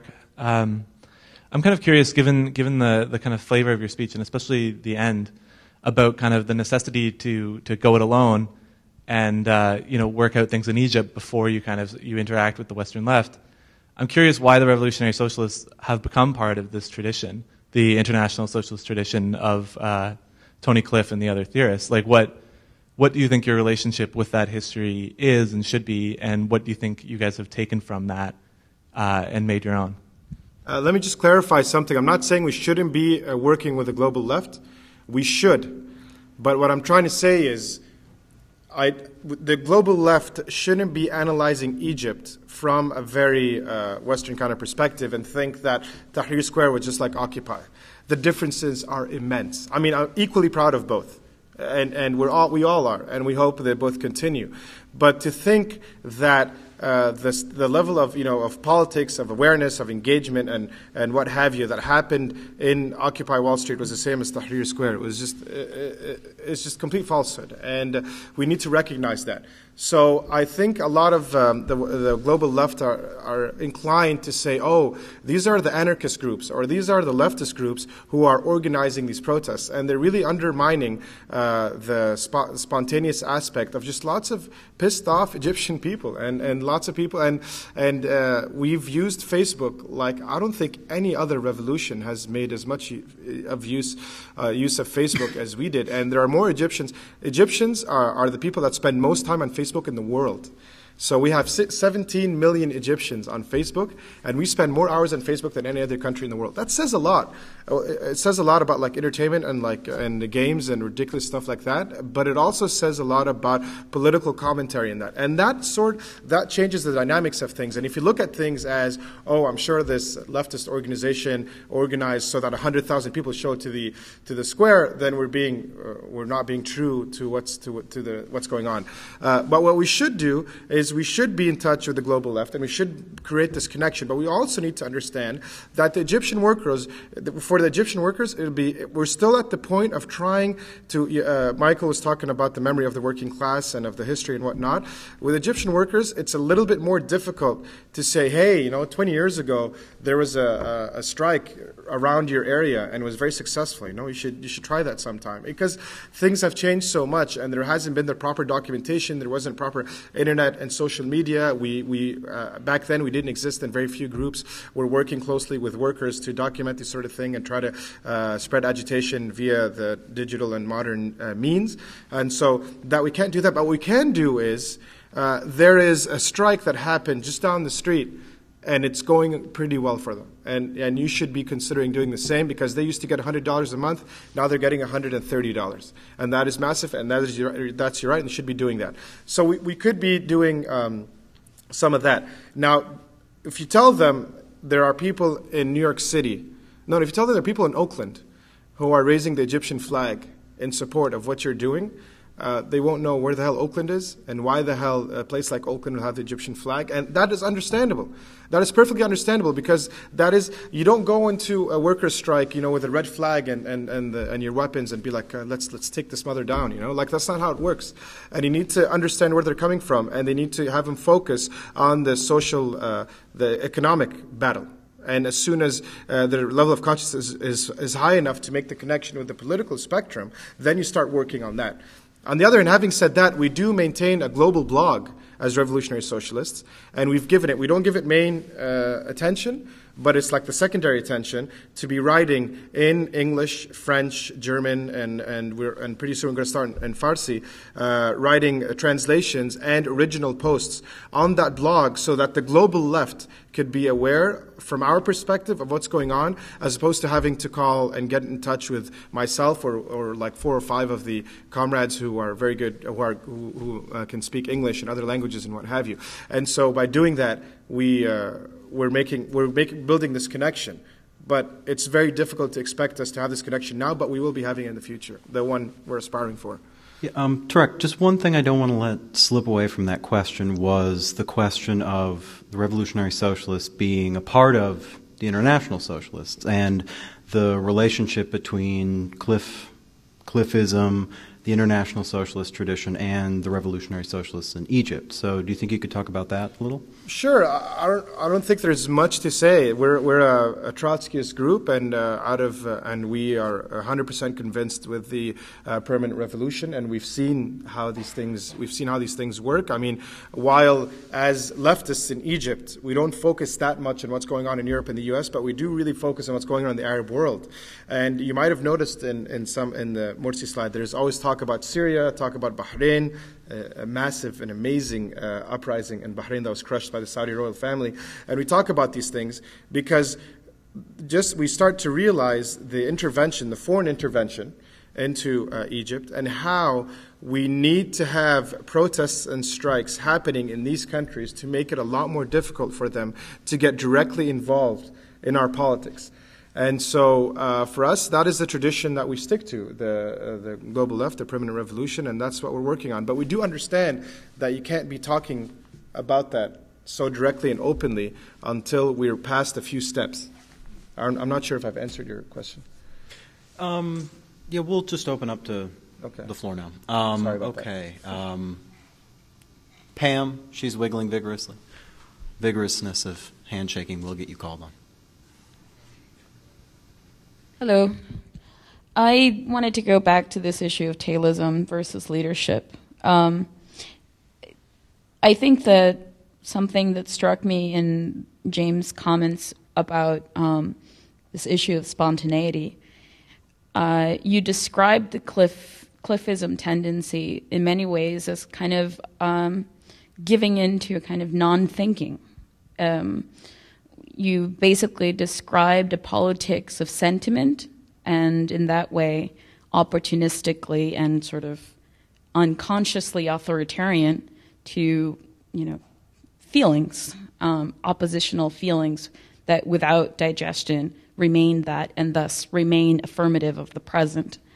There's this uh, essay that we read in Platypus um, by Leszek Kolakowski, and in it he describes the left as a fermenting element in history, as um, a way of sort of advancing or deepening uh, a, a moment, and thus propelling, right, potentially a splinter off that moment in a different direction. And it seems to me that if if there is only, uh, and again, not knowing the Cliffist tendency very well and simply going from your comments, if Cliffism is a kind of politics of spontaneity and in this way embracing a kind of non thinking dimension of like oppositional tendencies, then it is seriously undermining the reflection of leftist politics. I mean, I'm not sure if that's what you were saying, but for me at least, that's what it sounds like. Um, I, I, I, I wonder what, Tarek, you'd make of this issue of how a history of the left should be part of your practice. Because in the example that you gave recently, when you said you were responding, I think, to Chris, you were saying, well, you know, history of these places is not very well docu- documented, but I can tell you, you know, this, this, these guys, the strike, they won the strike, they got 30,000 more dollars. But what about, I mean, isn't 30, the 30 more dollars. 30 more dollars? 30 more dollars a month, yes. Yes. And isn't the party, isn't the organization in many ways the way through which history can become conscious, right? Through activity, through practice. So it's not that you're coming to people saying, well, haven't you read about this or this history, but rather it's through the organization itself in which history sort of becomes quote unquote conscious of itself, right? In, in the activity. And how do you, how do you see yourself? You said you consider yourself a Trotskyist, your organization is Trotskyist, you understand the permanent revolutions, your position. How does this inform your practice today? Um, and how do you see yourself as advancing or fermenting uh, oppositional tendencies in such a way that it can go beyond present spontaneity or present just sentiment? James? God, is that on me? I thought it was on you. Uh, I think, yeah, I think it was for Tarek, but I, I don't want to be like um, repetitive For both. For both. on the point, but uh, you know, maybe a, a way to take it a bit further would be um, to to to situate it more in the present. The uh, i- i- if you see, it, it was one kind of a problem to have a politics of spontaneity in the 1970s when the spontaneous trend was up, as it were. You know, it was towards militancy. Um, but it's quite. It, it, I think that, you know why the uh, the the problems uh, you know from about 2008 onwards got so severe was because um, you know this organisation was trying to cope with um, uh, a, downward um, trajectory in militancy uh, in West Europe. I'm talking about in in Britain, where you know it's it's prolonged now the the kind of decline in in uh, um, militant trade union activity. Uh, and more than that, a kind of a really profound uh, disengagement from political life. Um, uh, uh, I mean, it's the kind of opposite problem of Egypt. You know, we've, we've got um, uh, these uh, stale socialist aspirations that have gone bad. You know, we're, we're, the whole prospect of, of socialism in West Europe is really a kind of worn out um, idea because it's not, uh, you know, it's never quite been fulfilled, or if it has been fulfilled, it's been a massive disappointment. And you, you see this falling away with, with particular moments that, that clarify it out. So that strong movements in the West today are deeply anti political. You know, and even ones that uh, I, I, take issues with the Occupy uh, uh, idea. I mean, I'm not saying that you know lots of very good people weren't involved in interesting ideas, but there's a, there's a core in that movement which is a, is a, um, a kind of nihilistic rejection, um, uh, and to amplify that. You know, to, to say yes, yes, we need more of that. That's a real kind of a problem because you become the voice of this, uh, what's essentially a kind of um, um, I hate everything modern, uh, you know, uh, and uh, there's a, you know, when you say there's a difference between sitting down in Tahrir Square and sitting down in, um, well, we had it in uh, outside the London Stock Exchange. I'm thinking, I hope that's true. I mean, it certainly looks true because. Uh, I don't want to be like offensive gratuitously, but um, you know, a lot of the kind of movement uh, in the Occupy the London Stock Exchange was really kind of tragic uh, uh, anti politics that um, if you amplify that, it really becomes quite a, a. I mean, it's just a kind of a destructive thing. You know, we had it with rioting. We had, uh, you know, big riots in, in um, uh, Britain in 2011, um, uh, which did have a direct political uh, trigger. You know, the assassination of a, of a, a, a black guy by the police. Um, so there were political protests at the core of it, but very quickly it became clear that this was just like looting and um, uh, bad behaviour. Uh, and, and where all these left wing groups competing to each, with each other to proclaim the revolution and say, you know, uh, uh, you know, hurrah, the, the revolution is here. And I'm thinking, you know, if, if the revolution is smashing in Footlocker, then um, this, you, you're right. Uh, you know, this is it. And, but you think that it's, it's, it's losing sight, you know, to be wallowing this kind of degenerate um, um, anything, you know, that's going, we're into that. It really is the most disastrous kind of politics. Yeah? And you get the, the situation where um, uh, the, you know, the cover of the Socialist Worker would be saying Tory sleaze, you know, ex- exposed another Tory MP caught with his pants down. And you're thinking, please, you know, this is complete moralism gone mad. They were organising protests about uh, Julian Assange and uh, his, you know, what he was doing in bed. And I'm thinking, you crazy to be organising uh, these kind of protests because it will bite you in the arse. Um, sorry to use the English expression. Um, uh, and it did. It did because, uh, you know, they were just overtaken what, you know, let's adapt to this particular moment. See, and that's much more destructive. You see, it's a, it's a good thing to be, have a, a, lively relationship to an upward trajectory of, of militancy, uh, but it's not a good thing to have a lively uh, relationship to a downward trajectory of, of uh, kind of anti politics. Yeah, I don't have much to say. Uh, I know if I'm, I'm supposed to say something, but I, I will uh, uh, respond to the point of, um, if I remember correctly, the question was about uh, how do you get so how do you get the people how do you get the workers for example into politics? And how do you how do you work this if you're saying that it's very difficult to go back in history and what have you? Well that's why I was talking about the about reading and about discussion as soon as you get I get in. So there's a, there's a very big difference between as you all know between the workers who would join stri- a strike for the first time who would be on strike for a number of times and are now part of a union, who would lead a union, or who would join the Revolutionary Party. Now, that is something uh, different altogether.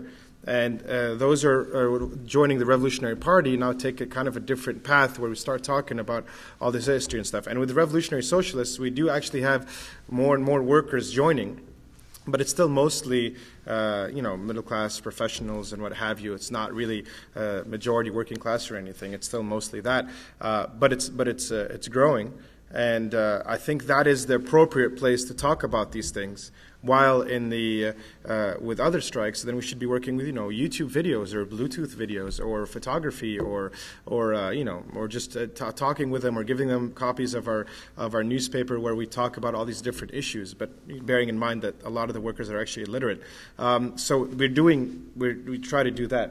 So balance both. Okay. Kind of Um, Gregor.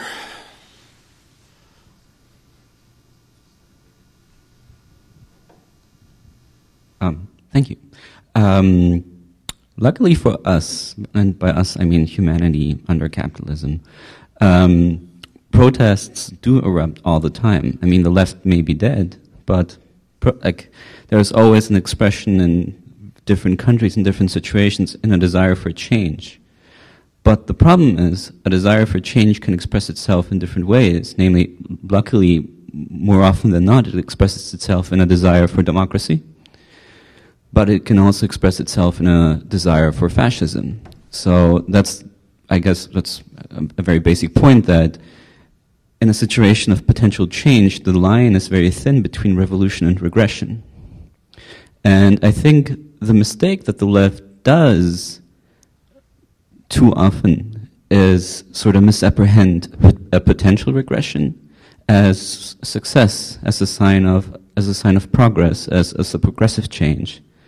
And um, I guess, I mean, this is more of a statement, and um, maybe my question is if you think this is like a fair, if this is a fair um, assessment of what reflection of leftist politics in a situation of potential change um, could mean. And I guess this would be a very important point because, again, you could basically misapprehend a, a change toward fascism or a, a reaction, a re- really anti-democratic re- regression in a progressive manner. And that this is, I think, where the left defeats itself too often.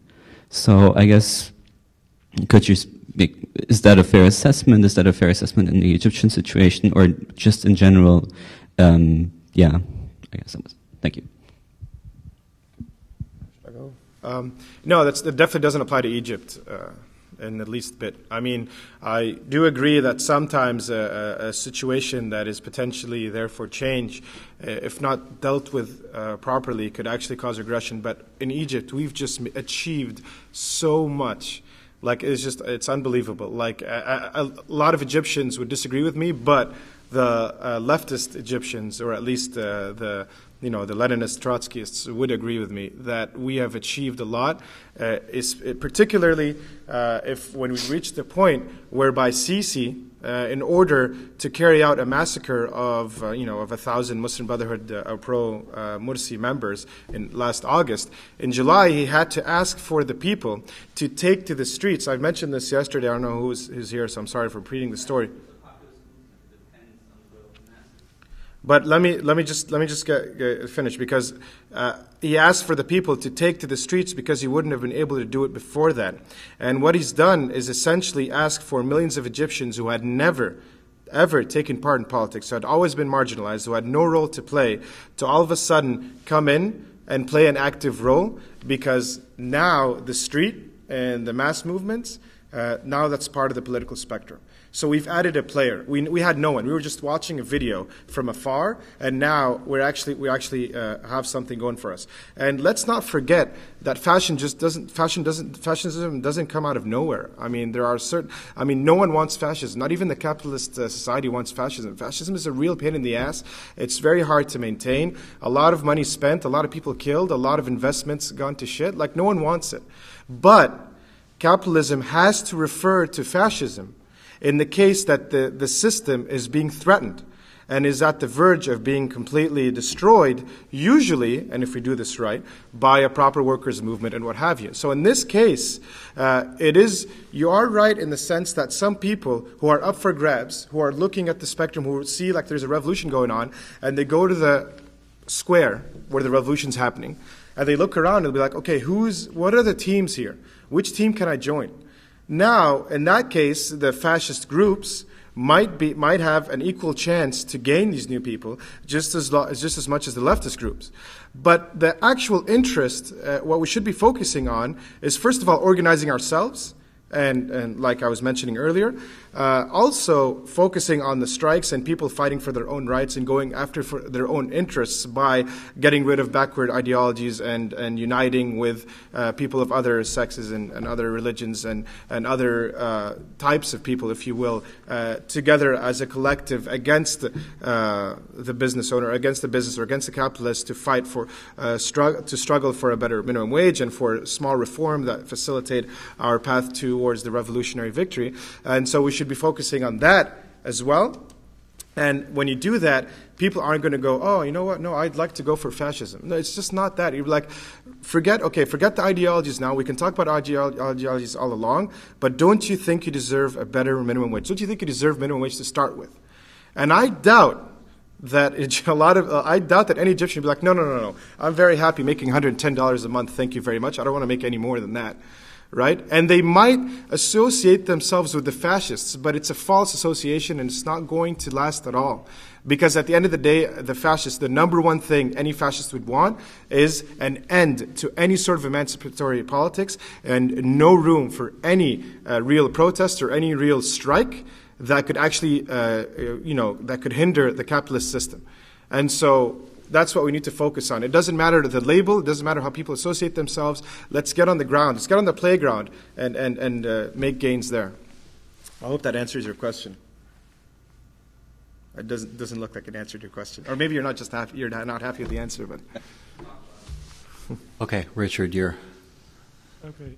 So um, I have a sort of general statement, which I'd like both speakers to respond to, and then I have one rather technical question for James Heartfield. So um, the general question is going back to the Cliffite, Cliffist tradition is the, the question, it seems to me that Cliffism results from the crisis of Trotskyism in World War II. Trotskyism, in turn, results from the crisis of Stalinism and particularly the capitulation of uh, the international communist movement, 1933, Hitler's rise to power. So, and Leninism itself, one could say, in a sense, results from the crisis of the Second International in 1914, in terms of the, the real consolidation of the Bolshevik tradition and the Communist International. So, what I want to uh, ask is the general question of revolutionary optimism and the idea of revolution. I mean, it seems to me in practice, I mean, there hasn't really been a revolutionary crisis since the Second World War that certainly threatened capitalism in the First World. And those overturns of capitalism have been by Stalinist movements in the Third World and have now essentially been reversed. So I think the question is to what extent can one really believe in revolution in the old sense, meaning revolution that abolishes capitalism as a system, as a worldwide system? And my sense is that hardly anyone in the world really believes in that. And that, that the politics of, for example, most post war Trotskyism, or the what is called Trotskyism nowadays, that the politics of the Socialist Workers' Party is really a kind of militant left social democracy. And so that, that's a polemic question. Is that a fair assessment? And uh, then I guess the, the, the, technical question that I wanted to ask was um, if you compare the legacy of Cliff with the legacy of, say, Ted Grant, I mean, at one point, militant tendency seemed like an even bigger movement in terms of number of members, like, like, but then dramatically imploded. Um, how would you look at those two traditions in terms of their effects? In particular, that's a, a basically British centered question. Um, it really is. But, but the guy who, who, used to do the um, the militant tendencies international work, who was called Labi, I think Bob Labi, used to live in the same flats as my dad, and he was always nipping off to Egypt and various places. And it's I, I mean it's quite interesting uh, some of the impacts they've had. Uh, you know, um, uh, Yousafzai Malala's um, uh, was part of the, the militant uh, tendency. Um, uh, the, the girl who was um, um, attacked in um, Pakistan by um, uh, Taliban. And it's really quite a moving part of the book, you know, when she starts saying, you know, the, the resolution to these problems is revolutionary socialism. Uh, you know, I'm old-fashioned; I can be moved. Um, the uh, I, I, I, suppose as I'm listening to you set it out, I, I, I worry a bit that it, it's somewhat over formalistic, uh, a bit like being on um, uh, a Steve Jobs uh, product. You know, you, you're always being funneled back into um, the world of um, of, uh, uh, you know, of iTunes. You know, you can never see the URL. Uh, it, it's, it's, you know, whereas the, the PC is, is like a funnel going out, isn't it? Um, uh, anything to do with um, I this or I that is, is always funneling you in. And, and I, I, think one of the more attractive things about the IS tradition was that they were um, comically um, um, indifferent to um, uh, you know, loyalty to the Trotskyist uh, perimeters. You know, they happily collaborated with the Maoists in Portugal. I mean, it, it didn't work out. Uh, they worked with the um, uh, uh, various sponta- spontaneous movements in um, France. They, they, talked to the Socialism or Barbarism group, which I know it had Trotskyist roots. But they also talked to the the people in Italy. The um, I forget what it was called um, uh, which was of a Maoist bent. And, and that, that was actually was rather attractive character to them. And, and I, I, so I, I, like, I prefer a kind of in, uh, sociological than an intellectual history approach, uh, I think, uh, to the left. I don't agree that um, um, revolution was always off the agenda. I think the 1970s in West Europe uh, is, a, is a moment of ferment uh, where the real tragedy is writ large is that the, um, the ruling class did not know what to do, and neither did the working class, you know, and and the, uh, it was like one more push, you know, one more strike, and and it just it was like watching two men having a fight who didn't right, really quite dare land the punch, you know, and um, uh, it, it, it, you could really see it in, in Britain, but I think it's it's writ large in France. If you accept that, isn't that an even more damning assessment of the Western left? Well, I, you know, I, um, I, yeah, sure. Um, but I, you know, I, you, can, you can damn somebody once. How many times do you need to damn them? Um, I guess drive that um, pitchfork in further like some devil. Uh, yes, th- you know, we failed. You know, let, let, me put it that way. Um, uh, you know, I've been involved in left-wing parties, and um, uh, you know, they, they don't exist now because we failed. Um, uh, you haven't. Um, so I'm, I'm looking out with, with optimism, and, and um, um, uh, I'd be happy to give whatever assistance I can. Uh, probably not advice, um, but uh, you know. So the, I think that is the, that's the situation we're in. Uh, but it, the working class didn't fail. You know, the, it, it, wasn't the working class that um, um, uh, uh, made the mistakes, it, it was their leaders. Uh, but the price is manifested across society. I think that's the thing that's really tough to take. Uh, working in, uh, this is a, a, British or West European perspective, because the working class is not left um, um healthy uh, because its leaders have failed. On the contrary, the whole thing infects all of our social organisation. The very basics of social solidarity disintegrate as a consequence of that. And you can, I mean, you know, I know this can drift into a kind of neoconservative rant about people not knowing how to tie their shoelaces and that kind of thing.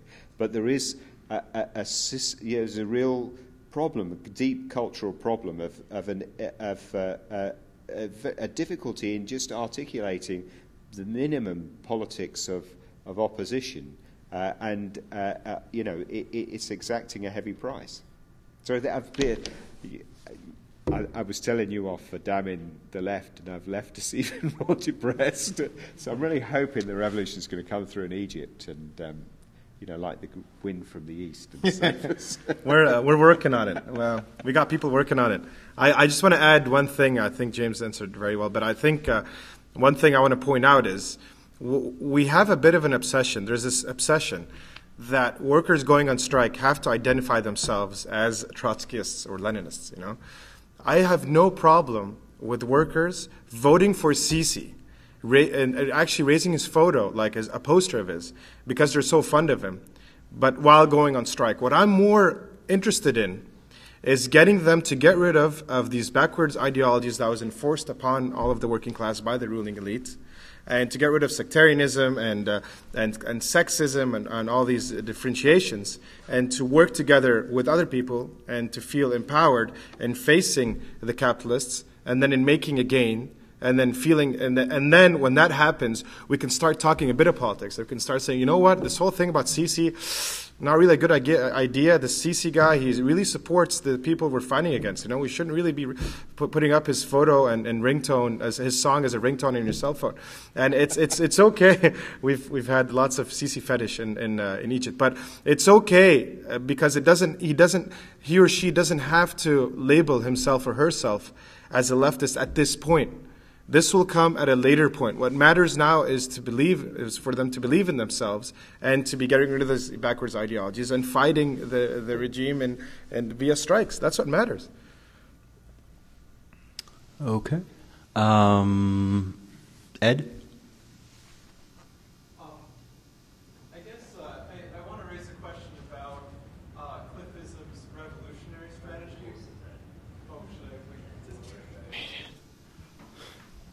I want to raise a question about uh, Cliffism's revolutionary strategy. One point on which we might agree is that uh, no matter how desirable the outcome of politics in Egypt, uh, any re- revolution there would depend on one in the advanced countries to really uh, make a profound step forward towards something like global socialism.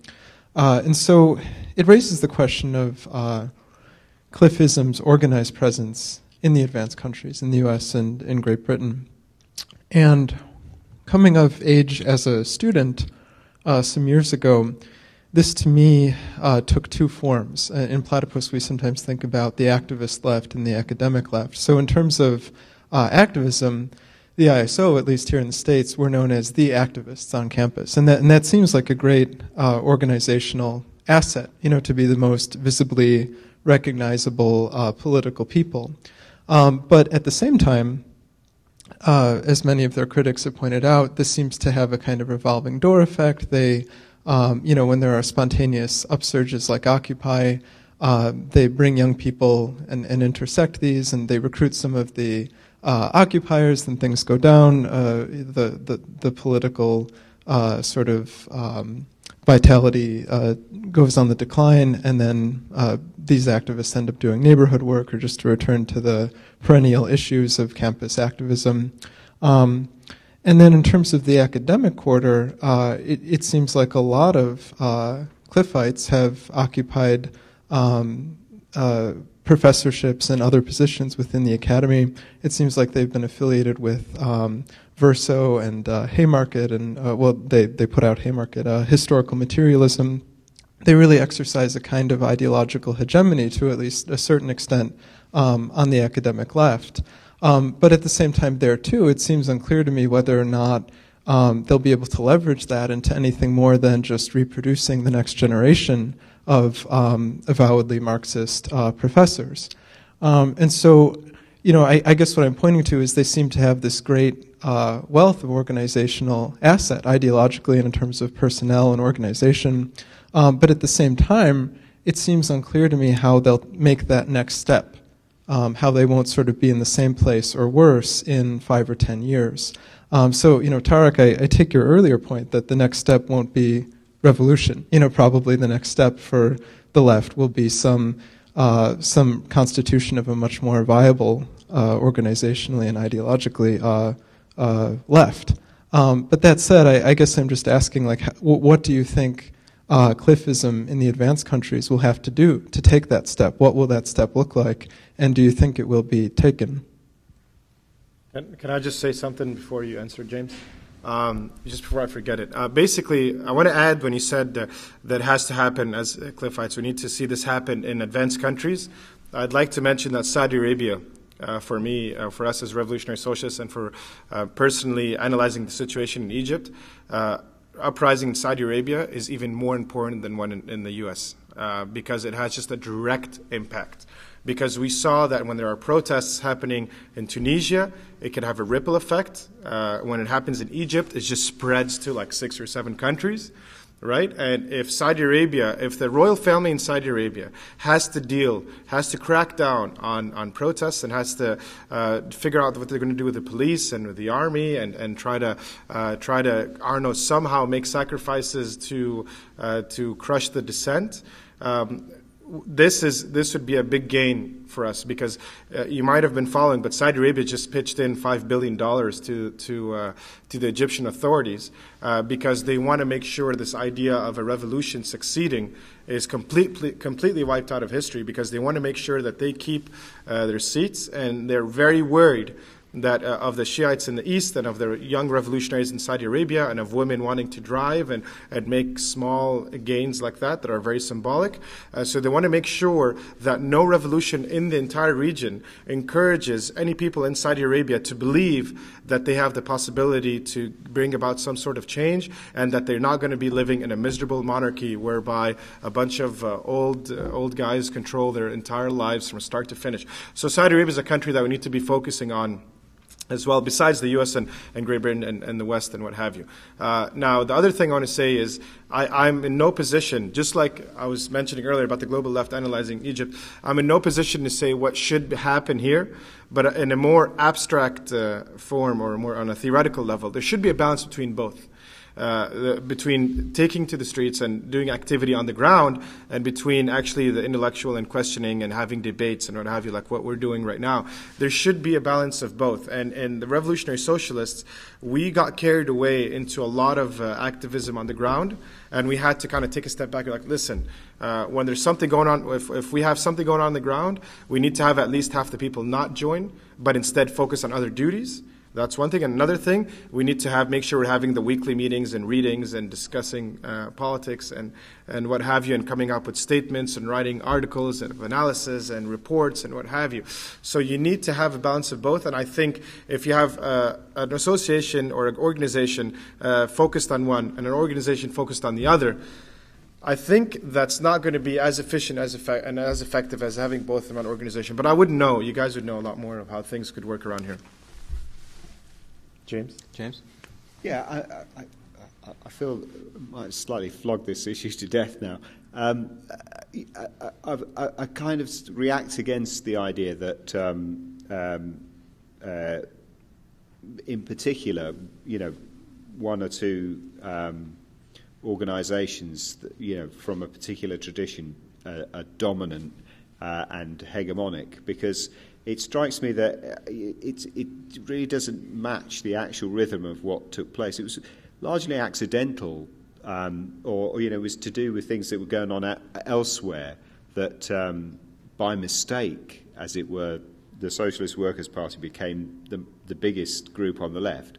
What I mean is that, uh, as I remember it, you know, uh, way up until uh, you know about um, 1982, um, all politics, all um, militant left wing politics, was dominated by the Communist Party of Great Britain, and all Trotskyist organizations were completely um, uh, preoccupied with the question of, of challenging the Communist Party of Great Britain and also challenging the Labour Party, which uh, you know we haven't even begun to touch upon. Uh, and uh, it, it's it's quite weird in a way from remembering all that that you think of the Socialist Workers' Party as this kind of dominant hegemonic force. You know, most of the time they've been uh, these the underdogs trying to impact upon um, uh, uh, politics. Uh, uh, you know that um, uh, was exclusive of them, and they've in different ways tried to make themselves reconcile or or attack or whatever. and so, you know, the, the fact there's a couple of Marxist professors who, you know, had signed up to one faction as opposed to another faction, it doesn't seem it, that it ought to be that important. You know, Haymarket books, you know, great, love the titles and everything, but it's it's a little bit passe actually, in you know some of its um, kind of themes. Uh, you know, Verso is uh, has got other intellectual traditions in it, but again, I would say, um, uh, you know, this isn't exactly a Chinese wall, and uh, anybody that wants to do work um, uh, need fear no um, uh, um, kind of territorial ownership of the question of Marxism or revolution or liberation or, or whatever. Uh, I think the key thing is just to strike out on your own because everything is wide open. Everything is wide open.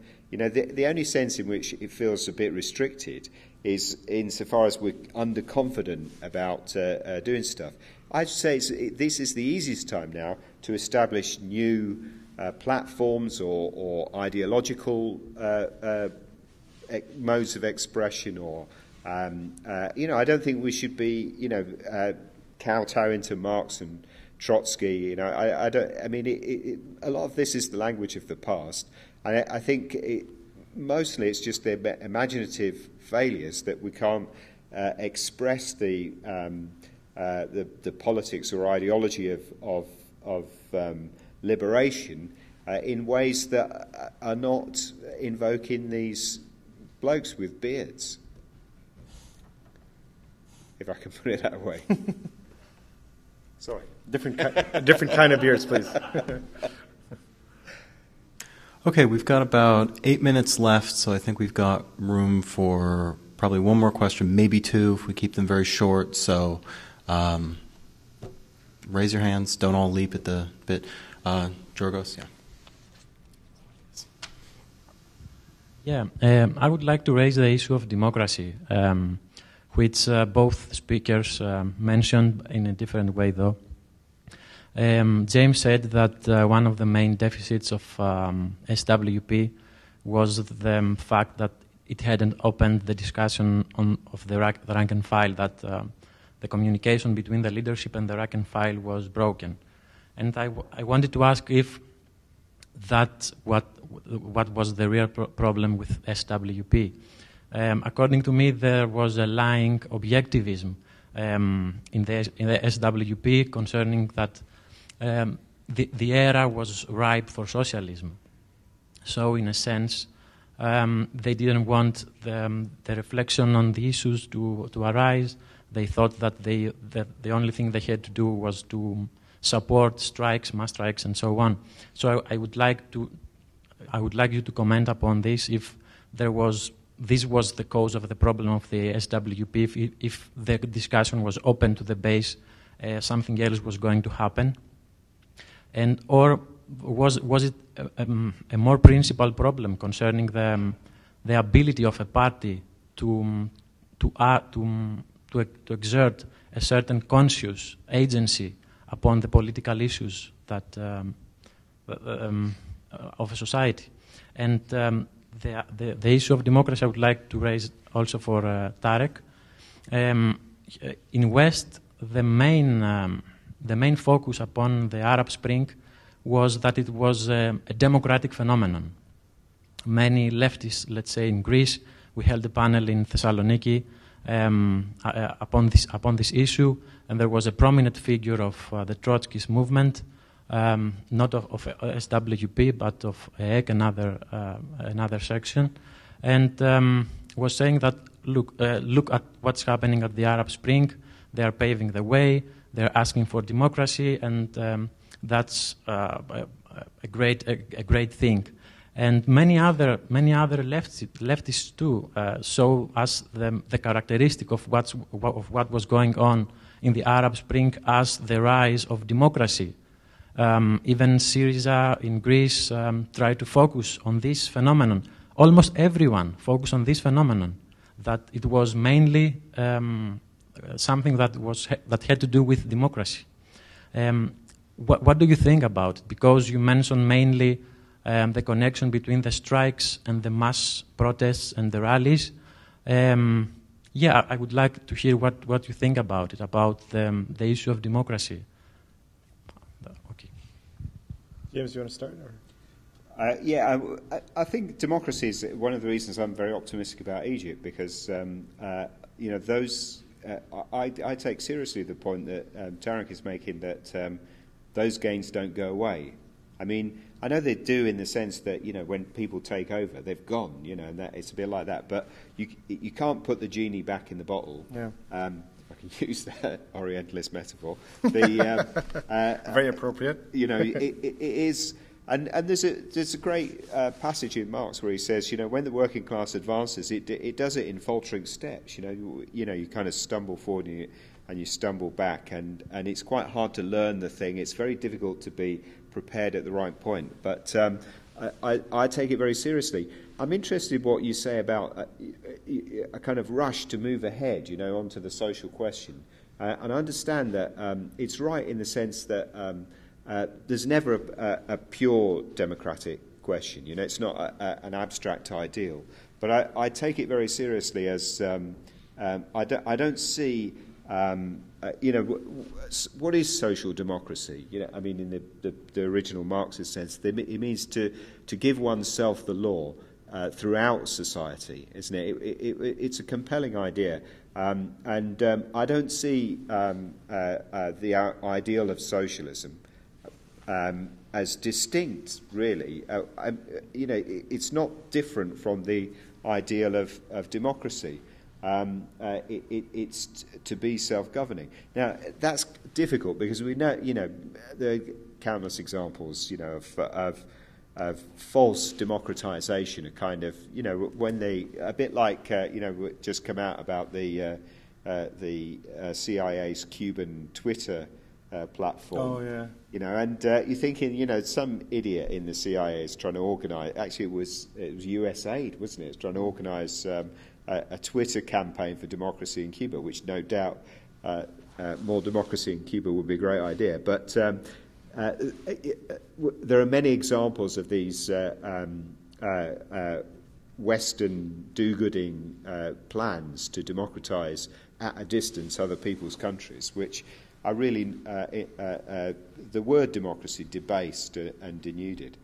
Um, I think it's somewhat different, the question of democracy within an organisation.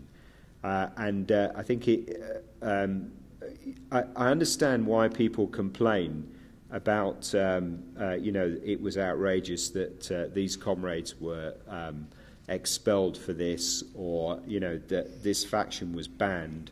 And all those are reasonable points. But um, they're not quite the nub of the problem. The problem is that they, there's this great quote that um, it's in George Lukács's uh, Towards a Methodology of Organisation, where he says, against all my experience, he says, you know, um, uh, the realm of the party is the true realm of freedom. And you're thinking, it's, you know, all those times have been told to get down to such and such place and sell these newspapers and, um, you know, uh, and sent off to collect money outside this benighted, miserable place. it's very difficult to think of that is the act of freedom, you know, that uh, you go routinely on to another uh, lifeless activity or trying to breathe life into it. Um, but it, it is a really important point is that with it, you know, organizing within capitalist society, where is the place where you give yourself the law? You know, where you um, where you're, uh, uh, you you act freely. That's to say, uh, not pushed around within a labour market relationship. You know, not for, you know, not the, the kind of freedom of um, I sell myself to an employer. You know, not like one of those chumps who say, you know, I think it's really great. I take my clothes off um, to get my college degree. Uh, that's not quite a convincing example of freedom. I think that the point about the socialist organisation or the, the democratic centralist organisation is not a question of rules or uh, observe this uh, particular thing. It's can you re- say with your hand on your heart that in that moment that the what's happening is that the people in the organisation are owning and deciding uh, what the trajectory is. Not in the sense that they all vote, you know, like you know, with their cards or delegate structure or whatever. Yes, yes, I vote for it. But uh, do they own it? You know, do, are they uh, uh, are they living the problem? Are they do they possess the um, uh, uh, uh, the thing? And at that point, I think it is. You know, Lukács's point is right. I think at that point, the revolutionary organisation is is the true realm of freedom because it's the point where you you you you decide for yourselves uh, what you're going to do, and then you present it um, uh, to the rest of the uh, society and try out the idea. Uh, and uh, I, th- I, think it, that to me, that is, um, you know, something well worth aspiring to. Okay, Tarek, last response. Yeah, just last response. Uh, I think the Egyptian revolution, like uh, a lot of revolutions that are similar, is, is um, a bit has a bit of a reformist uh, nature. Like uh, we obviously take this revolution to change things, but we know that change won't come and uh, right away. It'll take lots of uh, little reforms that kind of hopefully exponentially make it a lot easier for us to actually bring about change. And this comes by having the masses believe in themselves and self-emancipatory politics, like we've been talking, and, and organizing ourselves. You know, just getting getting our shit together, basically. So uh, it's it's interesting because uh, I think with the spontaneity of the of the revolution, of the wave of the uprising, people were in it for different reasons. But generally speaking, I think it's safe to assume that there's the nature of um, that it it's a, has a reformist nature, which is very much in line with our revolutionary aspirations, uh, our aspirations for change.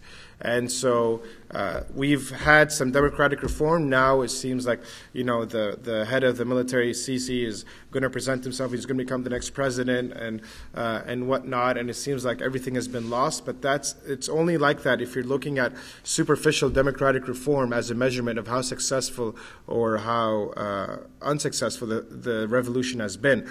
But what you want to look at are other indicators that come as a result of these democratic reforms, and that is uh, how much people have a say in what's going on, how much people believe in themselves, how many people are going on strike when they're fed up, how much time people are waiting. These are all indicators, like how much time workers wait before they take uh, they may go go on strike, how many people are on social media expressing their ideas freely. I mean, if you were to go, uh, there's a massive, massive campaign on Facebook and Twitter now and it became the number one Twitter hashtag worldwide, which is uh, in Arabic, uh, it's, it's, a, it's an insult to Sisi. And it says, uh, vote for, uh, we use the word pimp, but pimp doesn't have a, a, positive connotation in Arabic like it might have in, in American slang. Uh, so it's. So it's yeah, yeah, like you could just say vote vote for the douchebag or whatever it is you want, whatever term you want to use. But the interesting thing is, this was the number one hashtag worldwide, started by Egyptians with tens of millions uh, using uh, using this hashtag across uh, Twitter and Facebook. And the interesting thing about it is is that it's um, uh, what was I going to say? It's that uh, Sisi used to be a god. Like he was the closest thing to God after he got rid of Morsi. And you couldn't criticize him, let alone strongly criticize him, let alone insult him like that. And now we have millions, you know, taking the piss at him, and just uh, and it's it's it's amazing. It's one of the biggest achievements of the revolution. And I think this is one of the things that we should. These are some of the indicators that we should be looking at uh, on our way to bringing about change. That's uh, that's what I say. That's it. All right. Well, uh, I want to thank both James and Tarek. Um, we're going to be going to Exchequer um, now. There was a scheduled about half hour break between the end of this and to get there, so I would expect somewhere around 9:20 um, show up there. But I would bet people to be coming as soon as possible. But anyway. okay, well, just go people now. Should, okay, people should just go. All right. Thanks, everybody.